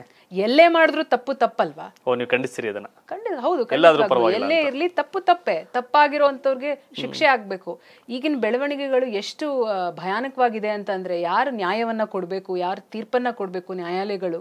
ಬರೀ ನಾನು ನಮಗೆ ಕಳವಳ ವ್ಯಕ್ತಪಡಿಸ್ತಾ ಇದೀವಿ ಅಂತ ಸ್ಟೇಟ್ಮೆಂಟ್ ಕೊಟ್ಬಿಟ್ರೆ ನೀವು ತಪ್ಪಾಗಿರೋರ್ಗೆ ಶಿಕ್ಷೆ ಕೊಡಿ. ಅಪರಾಧ ಆಗಿರುವಂತ ನಿರಪರಾಧಿಗಳನ್ನ ಬಿಡುಗಡೆ ಮಾಡಿ. ಅಪರಾಧ ಮಾಡಿರೋರ್ಗೆ ಶಿಕ್ಷೆ ಕೊಡಬಾಗಿ ಕೊಡ್ಬೇಕಾಗಿರುವಂತ ನ್ಯಾಯಾಲಯಗಳು. ಬರೀ ನಮ್ಗೆ ಕಳವಳ ವ್ಯಕ್ತಪಡಿಸ್ತಾ ಇದೀವಿ ಅನ್ನೋ ಒಂದು ಸ್ಟೇಟ್ಮೆಂಟ್ಸ್ ಓದ್ಬಿಟ್ರೆ ಬಹಳ ಆತಂಕಕಾರಿ ಬೆಳವಣಿಗೆಗಳಿದು. ಪ್ರತಿನಿತ್ಯ ನಾವು ಪೇಪರ್ಗಳಲ್ಲಿ ಓದ್ತಾ ಓದ್ತಾ ಇರ್ತೀವಿ. ಈಗ ಮಲತಳ್ಳಿ ಕೆರೆ ವಿಚಾರದಲ್ಲಾಗಿರಬಹುದು. ನಿರ್ ಸ್ಟ್ರೇಟ್ ಆಗಿ ಅವ್ರೇನು ಹೈಕೋರ್ಟ್ ಏನು ಆದೇಶ ನೀಡಿತ್ತು ಯಾವುದೇ ಕಾಮಗಾರಿಗಳನ್ನ ಮಾಡಬಾರ್ದು ಅಲ್ಲಿ ಅಂತ ಆದೇಶವನ್ನ ನೀಡಿದ್ರು ಕೂಡ ಶಿವರಾತ್ರಿಯ ಹಬ್ಬವನ್ನ ಕೆರೆ ಆವರಣದಲ್ಲಿ ಮಾಡ್ತಾರೆ ಅಂತ ಅಂದ್ರೆ ಇವೆಲ್ಲವನ್ನ ನೋಡ್ಕೊಂಡು ಕೋರ್ಟ್ಗಳಾಗ್ಲಿ ಹೇಗೆ ಸಹಿಸ್ಕೊಂತಾರೆ? ಇಲ್ಲ ಅಲ್ಲಿ ಅವರು ಹಬ್ಬ ಏನು ಕಾಮಗಾರಿ ಏನು ಮಾಡಿಲ್ಲ ಹಬ್ಬ ತಾನೇ ಮಾಡಿರೋದು. ಏನು ಶಿವರಾತ್ರಿ ಹಬ್ಬದ ವಿರೋಧಿನ ನೀವು ಅಂತ? ಅಲ್ಲ ಶಿವರಾತ್ರಿ ಹಬ್ಬ ವಿರೋಧಿ ಮಾಡೋದು ಮಾಡೋಂಥದ್ದಲ್ಲ. ಯಾವ ಜಾಗದಲ್ಲಿ ಮಾಡ್ತಾ ಇದೀವಿ ನಾವು ಪರಿಸರನ ನಾಶ ಮಾಡಿ ಎಲ್ಲ ಇದನ್ನ ಮಾಡ್ಬೇಕಾಗತ್ತ. ನಮ್ಮ ಪರಿಸರನೇ ನಮಗ್ ದೇವ್ರು. ನಾವ್ ನಮ್ಗೆ ಇವತ್ತು ಕೆರೆ ಮರ ಗಿಡಗಳೆಲ್ಲ ಕರೆಕ್ಟ್ ನೀವು ಹಿಂಗೆಲ್ಲ ಹೇಳಿದ್ರೆ ಮುಂದ್ರತ್ನ ಹೇಳ್ತಾರೆ ನೋಡಿ ಹಿಂದೂಗಳು ಶಿವರಾತ್ರಿ ಹಬ್ಬ ಮಾಡಂಗಿಲ್ಲ. ಕಾಂಗ್ರೆಸ್ನ ಕುಸುಮ ಅವರು ಈ ತರ ಹಬ್ಬ ತಡಿತಾವ್ರೆ ಅಂತ ನಿಮ್ಗೆ ನೆಗೆಟಿವ್ ಮಾಡ್ತಾರ ಮಾಡಲ್ವ ಅವ್ರ ಮೇಲೆ ಅಲ್ಲ ಅವ್ರ ಅತಿ ರೀತಿ ರಾಜಕಾರಣವನ್ನ ಮಾಡ್ಬೋದು ಜನಗಳು ಪ್ರಬುದ್ಧರಿದ್ದಾರೆ ಜನಗಳಿಗೆ ಗೊತ್ತಿದೆ ಯಾರು ಏನು ಯಾವ್ದ್ರ ಪರವಾಗಿ ಮಾತಾಡ್ತಾರೆ ಅಂತ. ನಾನು ರಾಜಕಾರಣಕ್ಕೋಸ್ಕರ ನಾನು ಧರ್ಮವನ್ನ ತೆಗೆದುಕೊಂಬರಲ್ಲ ರಾಜಕಾರಣಕ್ಕೋಸ್ಕರ ಜಾತಿಯನ್ನ ತೆಗೆದುಕೊಂಬರುವಂತವಳಲ್ಲ ನಾನು. ಸೊ ನನ್ನ ಧರ್ಮ ನನ್ನ ಜಾತಿ ಅಂತ ನಾನು ಚುನಾವಣೆ ಮಾಡಕ್ಕೆ ಅಂತ ಬಂದಿಲ್ಲ. ಬಟ್ ಆದ್ರೂ ಆದ್ರೂ ಆರ್ ಆರ್ ನಗರದಲ್ಲಿ ಒಂದು ಕೇಳಿ ಬರುತ್ತಪ್ಪ ಗೌಡ ಒಕ್ಲಿಗ ವರ್ಸಸ್ ನಾಯ್ಡು. ಮುನ್ನತ್ನ ನಾಯ್ಡು ವರ್ಸಸ್ ಕುಸುಮ. ಇಲ್ಲ ಹಿಂಗೆ ಒಕ್ಲಿಗ ಗೌಡ ನಾಯ್ಡು ಇವೆಲ್ಲ ಚರ್ಚೆಗೆ ಬರ್ತಾವೆ ನಿಮ್ಮ ಕ್ಷೇತ್ರದಲ್ಲಿ. ಯಾಕೆ? ನೋಡಿ ನಾನು ಸಹಜವಾಗಿ ಯಾರೂ ಹುಟ್ಟಿದಾಗ ಯಾವ ಜಾತಿಲಿ ಹುಟ್ತೀವಿ ಅಂತ ಅರ್ಜಿಯನ್ನ ಸಲ್ಸ್ಕೊಂಡ್ ಹುಟ್ಟಿರಲ್ಲ. ನಾನೊಬ್ಬ ಒಕ್ಕಲಿಗ ಹೆಣ್ಮಗಳು. ನನಗೆ ಒಕ್ಕಲಿಗಳಾಗಿ ಹುಟ್ಟಿರುವಂತದ್ರ ಬಗ್ಗೆ ಬಹಳಷ್ಟು ಗರ್ವ ಇದೆ ಹೆಮ್ಮೆ ಇದೆ. ಒಕ್ಕಲಿಗ ಜನಾಂಗದ ಬಗ್ಗೆ ನನಗೆ ಬಹಳಷ್ಟು ಹೆಮ್ಮೆ ಇದೆ. ಅನ್ನದಾತರು ಒಕ್ಕಲಿಗರು. ಕೊಡುಗೈ ದಾನಿಗಳು ಅಂತಾನೆ ಹೇಳ್ಬೋದು. ಎಲ್ರಿಗೂ ದಾನವನ್ನ ಮಾಡುವಂತ ಜನಾಂಗ ಒಕ್ಕಲಿಗರು. ಆ ಜಾತಿಯಲ್ಲಿ ನಾನು ಹುಟ್ಟಿದ್ದೀನಿ. ನನಗೆ ಬಹಳ ಗರ್ವೆ ಗರ್ವ ಹಾಗೂ ಹೆಮ್ಮೆ ಕೂಡ ಇದೆ. ಸೊ ಇವತ್ತು ಅವರು ನನ್ನ ಕ್ಷೇತ್ರದಲ್ಲಿ ಹೆಚ್ಚಿನ ಅತಿ ಹೆಚ್ಚು ಒಕ್ಕಲಿಗ ಮತದಾರರಿದ್ದಾರೆ ನಗರ ಕ್ಷೇತ್ರದಲ್ಲಿ. ಯಾಕೆ ಮತ್ತೆ ಕುಸುಮ ಅವರ ಕೈ ಹಿಡಿತಾ ಇಲ್ಲ? ಯಾಕೆ ಓಟ್ ಆಗ್ತಾ ಇಲ್ಲ? ಇಲ್ಲ ಅದ್ ಅದು ಹೇಳಿದ್ರೆ ತಪ್ಪಾಗುತ್ತೆ. ಒಕ್ಕಲಿಗರ ಎಲ್ಲರೂ ಕೂಡ ಜನ ಒಕ್ಕಲಿಗರ ಜೊತೆಗೆ ಎಲ್ಲ ಜನಾಂಗದವರು ಕೂಡ ಕಾಂಗ್ರೆಸ್ ಪಕ್ಷದ ಪರವಾಗಿ ಖಂಡಿತವಾಗ್ಲೂ ಇದ್ದಾರೆ. ಈ ಬಾರಿ ಒಕ್ಕಲಿಗರ ಸೇರಿ ಎಲ್ಲ ಎಸ್ ಸಿ ಎಸ್ ಟಿ ಇರ್ಬೋದು ಕುರುಬ್ರು ಇರ್ಬೋದು ಮುಸ್ಲಿಂ ಅಲ್ಪಸಂಖ್ಯಾತರಿಗಳಿರ್ಬೋದು ಬೇರೆ ಎಲ್ಲ ಜನಾಂಗದವರು ಕೂಡ ಈ ಸರ್ತಿ ಕಾಂಗ್ರೆಸ್ಗೆ ಮತವನ್ನ ಹಾಕ್ತಾರೆ. ಡಿ ಕೆ ಶಿವಕುಮಾರ್ ಅವರು ಸಿಎಂ ಆಗಬೇಕು ಒಕ್ಕಲಿಗ ಸಮುದಾಯಕ್ಕೆ ಸೇರಿದ ಡಿ ಕೆ ಅವರು ಸಿಎಂ ಆಗಬೇಕು ಅನ್ನೋ ಒಂದು ಸ್ಲೋಗನ್ ಲೆಕ್ಕಾಚಾರ ಇದೆಯಲ್ಲ ಅದೆಲ್ಲ ಲಾಭ ಆಗುತ್ತಾ ನಿಮ್ಮ ಪಾರ್ಟಿಗೆ? ಲಾಭ ಅನ್ನೋದಕ್ಕಿಂತ ನೋಡಿ ನಮ್ಮ ಕಾಂಗ್ರೆಸ್ ಪಕ್ಷದಲ್ಲಿ ಹೆಂಗೆ ಅಂತಂದ್ರೆ ಹೈಕಮಾಂಡ್ ತೀರ್ಮಾನ ಮಾಡುತ್ತೆ. ನಮ್ದು ಸಾಮೂಹಿಕ ನಾಯಕತ್ವವನ್ನ ನಂಬಿರುವಂತ ಪಕ್ಷ. ಸಾಮೂಹಿಕ ನಾಯಕತ್ವದಲ್ಲಿ ನಾವು ಚುನಾವಣೆಯನ್ನ ಮಾಡ್ತಾ ಇದ್ದೀವಿ ಸಹಜವಾಗಿ ನಮ್ಮ ಕ್ಷೇತ್ರದಲ್ಲಿ ಒಕ್ಕಲಿಗರ ಸಂಖ್ಯೆ ಹೆಚ್ಚಾಗಿದೆ. ಎಲ್ಲ ಜನಾಂಗದವರು ಕೂಡ ಅಷ್ಟರಲ್ಲೇ ಅಷ್ಟೇ ಸಂಖ್ಯೆಯಲ್ಲಿ ಇಲ್ಲದೆ ಹೋದರೂ ಕೂಡ ಉತ್ತಮವಾದಂತಂದ್ರೆ ಮತವನ್ನ ಚಲಾಯಿಸುವಂತ ಮತಗಳು ಇದಾವೆ. ಎಲ್ಲ ಜನಾಂಗದವರು ಕೂಡ ಇದ್ದಾರೆ. ಯಾರು ಮುಖ್ಯಮಂತ್ರಿ ಆಗ್ತಾರೆ ಅನ್ನೋದಕ್ಕಿಂತ ಈ ಬಾರಿ ನಮಗೆ forty percent B J P ಸರ್ಕಾರ ಬೇಡ, ಕಾಂಗ್ರೆಸ್ ಪಕ್ಷ ಬೇಕು ಅನ್ನೋ ಜನಗಳ ಭಾವನೆ ಹೊರಗಡೆ ಇದೆ. ಎಸ್ ನಾನಾಗಲೇ ಹೇಳ್ತಾ ಇದೆ. ಸಾಮಾನ್ಯ ಮನುಷ್ಯ ಅಲ್ಲ ಮುಂದ್ರತ್ನ ತುಂಬ ಪ್ರಭಾವಿ. ನೀವೇ ಹೇಳ್ತೀರಿ, ಹಿಂಗೆಲ್ಲ ಕೇಸ್ ಹಾಕ್ಸ್ಬಿಡ್ತಾರೆ, ಹಿಂಗೆಲ್ಲ ಕರೆಂಟ್ ಕಟ್ ಮಾಡಿಸ್ಬಿಡ್ತಾರೆ, ನೀರು ನಿಲ್ಲಿಸ್ಬಿಡ್ತಾರೆ ಅಂತೆಲ್ಲ ಹೇಳ್ತೀರ? ಆಪಾದನೆಗಳನ್ನ ಮಾಡ್ತಾ ಇದ್ದೀರಿ. ಬಟ್ ಒಂದು ಪ್ರಮುಖವಾದ ವಿಚಾರ ಅಂತಂದರೆ, ಮುನಿರತ್ನ ವರ್ಸಸ್ ಕುಸುಮ ಅವರು.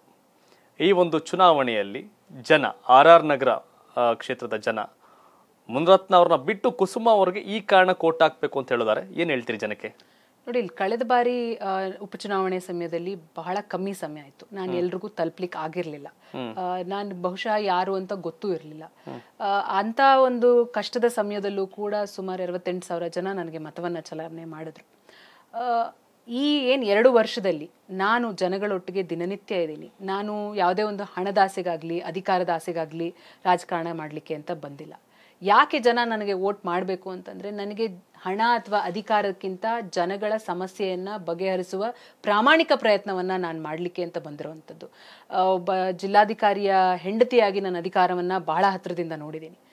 ನನ್ನ ತಂದೆ ದೇವ್ರ ದಯದಿಂದ ನನ್ನನ್ನ ಸಹಜವಾಗಿ ಚೆನ್ನಾಗಿ ಬೆಳೆಸಿರುವಂಥದ್ದು ಯಾವುದೇ ರೀತಿ ತೊಂದರೆ ಆಗದೆ ಇರೋ ರೀತಿ ಬೆಳೆಸಿರುವಂಥದ್ದು ಅದರಿಂದ ನನಗೆ ಇವೆರಡೂ ನನಗೆ ಹಣ ಅಥವಾ ಅಧಿಕಾರ ಅಷ್ಟು ನನಗೆ ಇಂಟ್ರೆಸ್ಟ್ ಅನ್ಸಲ್ಲ.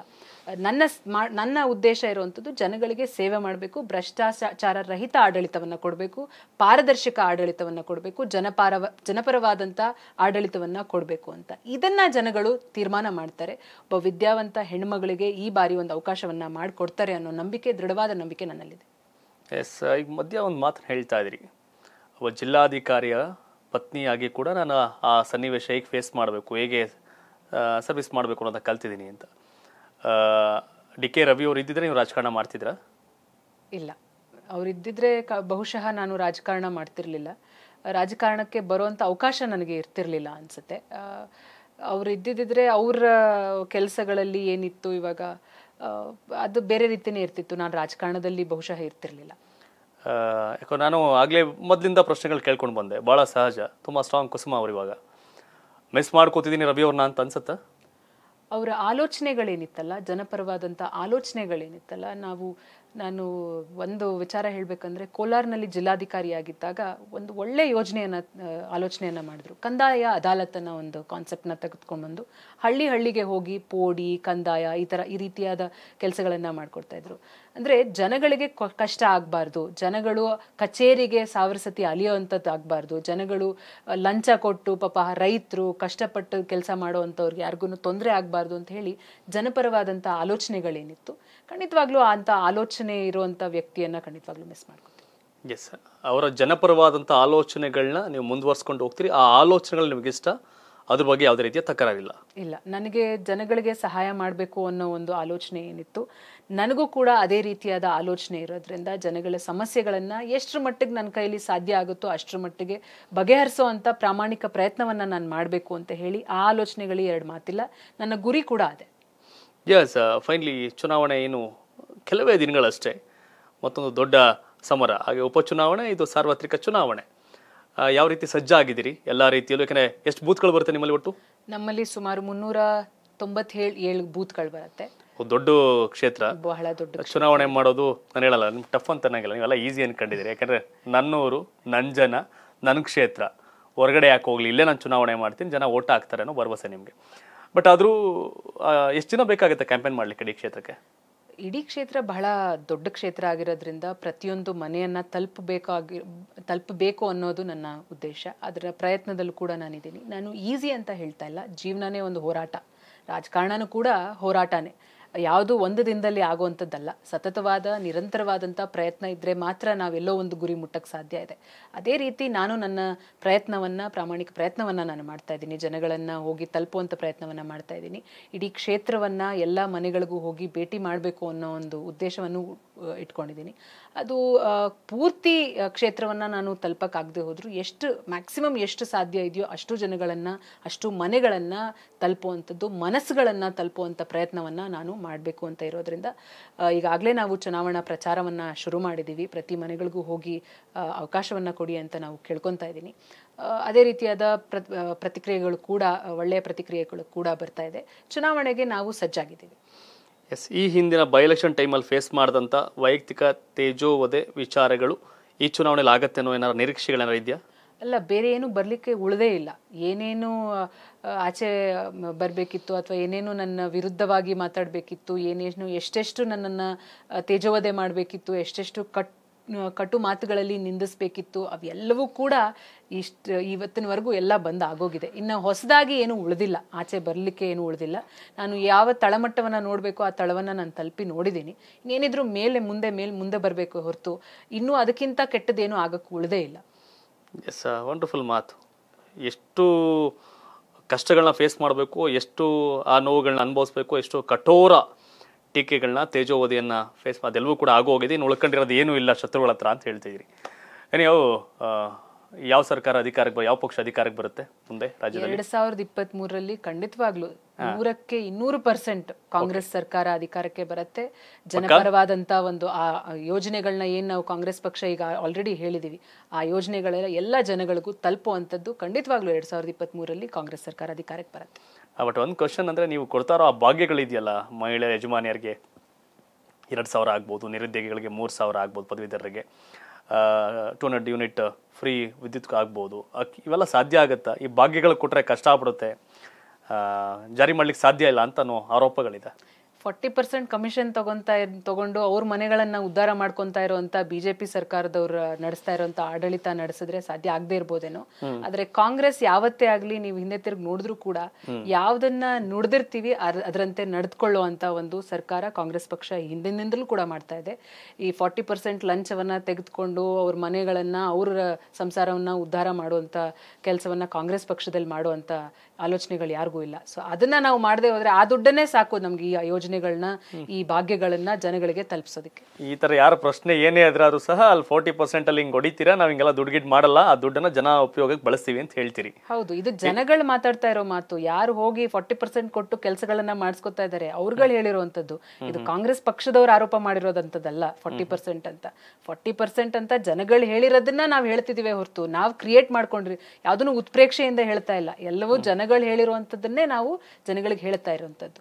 ಇದ್ಯಾವುದು ನಿಮ್ಮ ನೀವು ಉದ್ಭವ ಮಾಡಿದ ಯಾವುದು ಇಲ್ಲ ಇಲ್ಲಿ. ಇಲ್ಲ ಉದ್ಭವ ಮಾಡೋದಕ್ಕೆ ಅವಶ್ಯಕತೆ ನಮ್ಗಿರ್ಲಿಲ್ಲ ಜನಗಳೇ ಅನುಭವಿಸಿರೋದು ಜನಗಳು ಹೇಳಿರುವಂತ ಆರೋಪಗಳನ್ನೇ ನಾವು ಹೇಳ್ತಾ ಇರುವಂತದ್ದು. ಫಾರ್ಟಿ ಪರ್ಸೆಂಟ್ ಕಾಂಗ್ರೆಸ್ ಪಕ್ಷ ಫಾರ್ಟಿ ಪರ್ಸೆಂಟ್ ಏನು ಬಿಜೆಪಿ ಅವರು ತೆಗೆದುಕೊಳ್ತಾ ಇದ್ದಾರೆ ಹಣವನ್ನ ಫಾರ್ಟಿ ಪರ್ಸೆಂಟ್ ಕಮಿಷನ್ ಹೊಡಿತಾ ಇದ್ದಾರೆ. ಆ ಕಮಿಷನ್ ಹೊಡಿದೇ ಇರುವಂತ ಆ ದುಡ್ಡಲ್ಲೇ ಸಾಕು ಜನಗಳಿಗೆಲ್ಲ ಭಾಗ್ಯವನ್ನ ಕೊಡಬಹುದು ಕೊಡಬಹುದು ಅಂತ ಕಾನ್ಫಿಡೆನ್ಸ್ ಇದೆ ಇನ್ನೂರ ಇಪ್ಪತ್ನಾಲ್ಕು ಕ್ಷೇತ್ರಗಳಲ್ಲಿ ಎಷ್ಟು ಕ್ಷೇತ್ರ ಕಾಂಗ್ರೆಸ್ ನಂಬರ್ ಸದೃಢವಾದ ಕಾಂಗ್ರೆಸ್ ಪಕ್ಷವನ್ನ ಅಧಿಕಾರಕ್ಕೆ ತರಬೇಕಾಗಿರುವಂತ ಸದೃಢವಾದ ಸರ್ಕಾರ ನಡೆಸಲಿಕ್ಕೆ ಎಷ್ಟು ಅಂಕಿಗಳು ಬೇಕೋ ಅದಕ್ಕಿಂತ ಹೆಚ್ಚಿನ ಅಂಕಿಗಳೇ ಕಾಂಗ್ರೆಸ್ ಪಕ್ಷ ಈ ಸರ್ತಿ ಬರುತ್ತೆ.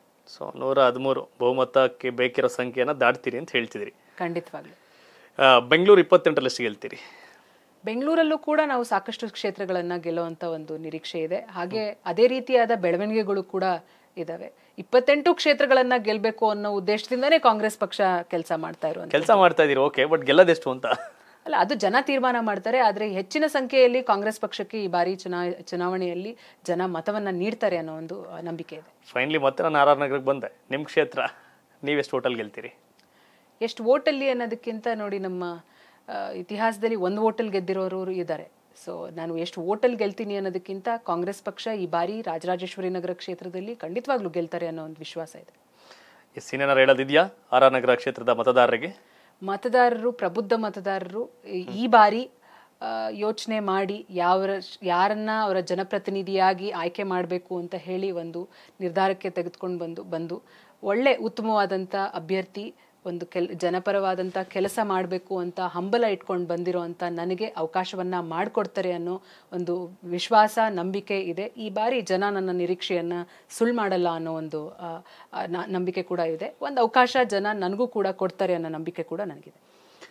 ಎಸ್ ವೀಕ್ಷಕರೇ, ಕುಸುಮ ಅವರು ತುಂಬ ಸ್ಪಷ್ಟವಾಗಿ, ನೇರವಾಗಿ, ಅಚ್ಚ ಕನ್ನಡ ಸ್ವಚ್ಛವಾಗಿ ಯಾವುದೇ ಮುಚ್ಚುಮರೆ ಇಲ್ಲದೆ ವಿಚಾರಗಳನ್ನು ವಿಚಾರಗಳನ್ನ ಕುಸುಮ ಅವರು ಅಂತ ಹೆಸರು ಕೇಳಿದ ತಕ್ಷಣ ಒಂದೇನು ಅಂದರೆ ಒಂದು ಡಿ ಕೆ ರವಿ ಅವರು ನೆನಪಾಗ್ತಿದ್ರು. ನಂತರದ ಘಟನೆಗಳು ಇವೆಲ್ಲವೂ ಕೂಡ. ಎಲ್ಲ ಒಂದು ಒಂದು ಕಡೆ ಅಯ್ಯೋ ಪಾಪ ಅನ್ನೋ ಒಂದು ಲೆಕ್ಕಾಚಾರಗಳು. ಅದು ಹೇಳಿದ್ರು ನನ್ನ ಮೊನ್ನೆ ಮಾ ಏ ಅಯ್ಯೋ ಪಾಪ ಅವೆಲ್ಲ ಬೇಡ. ನಾನು ಸ್ಟ್ರಾಂಗ್ ಹೆಣ್ಮಗಳಿದ್ದೀನಿ. ಇವೆಲ್ಲ ಫೇಸ್ ಮಾಡಲೇಬೇಕು, ಮಾಡಿದ್ದೀನಿ.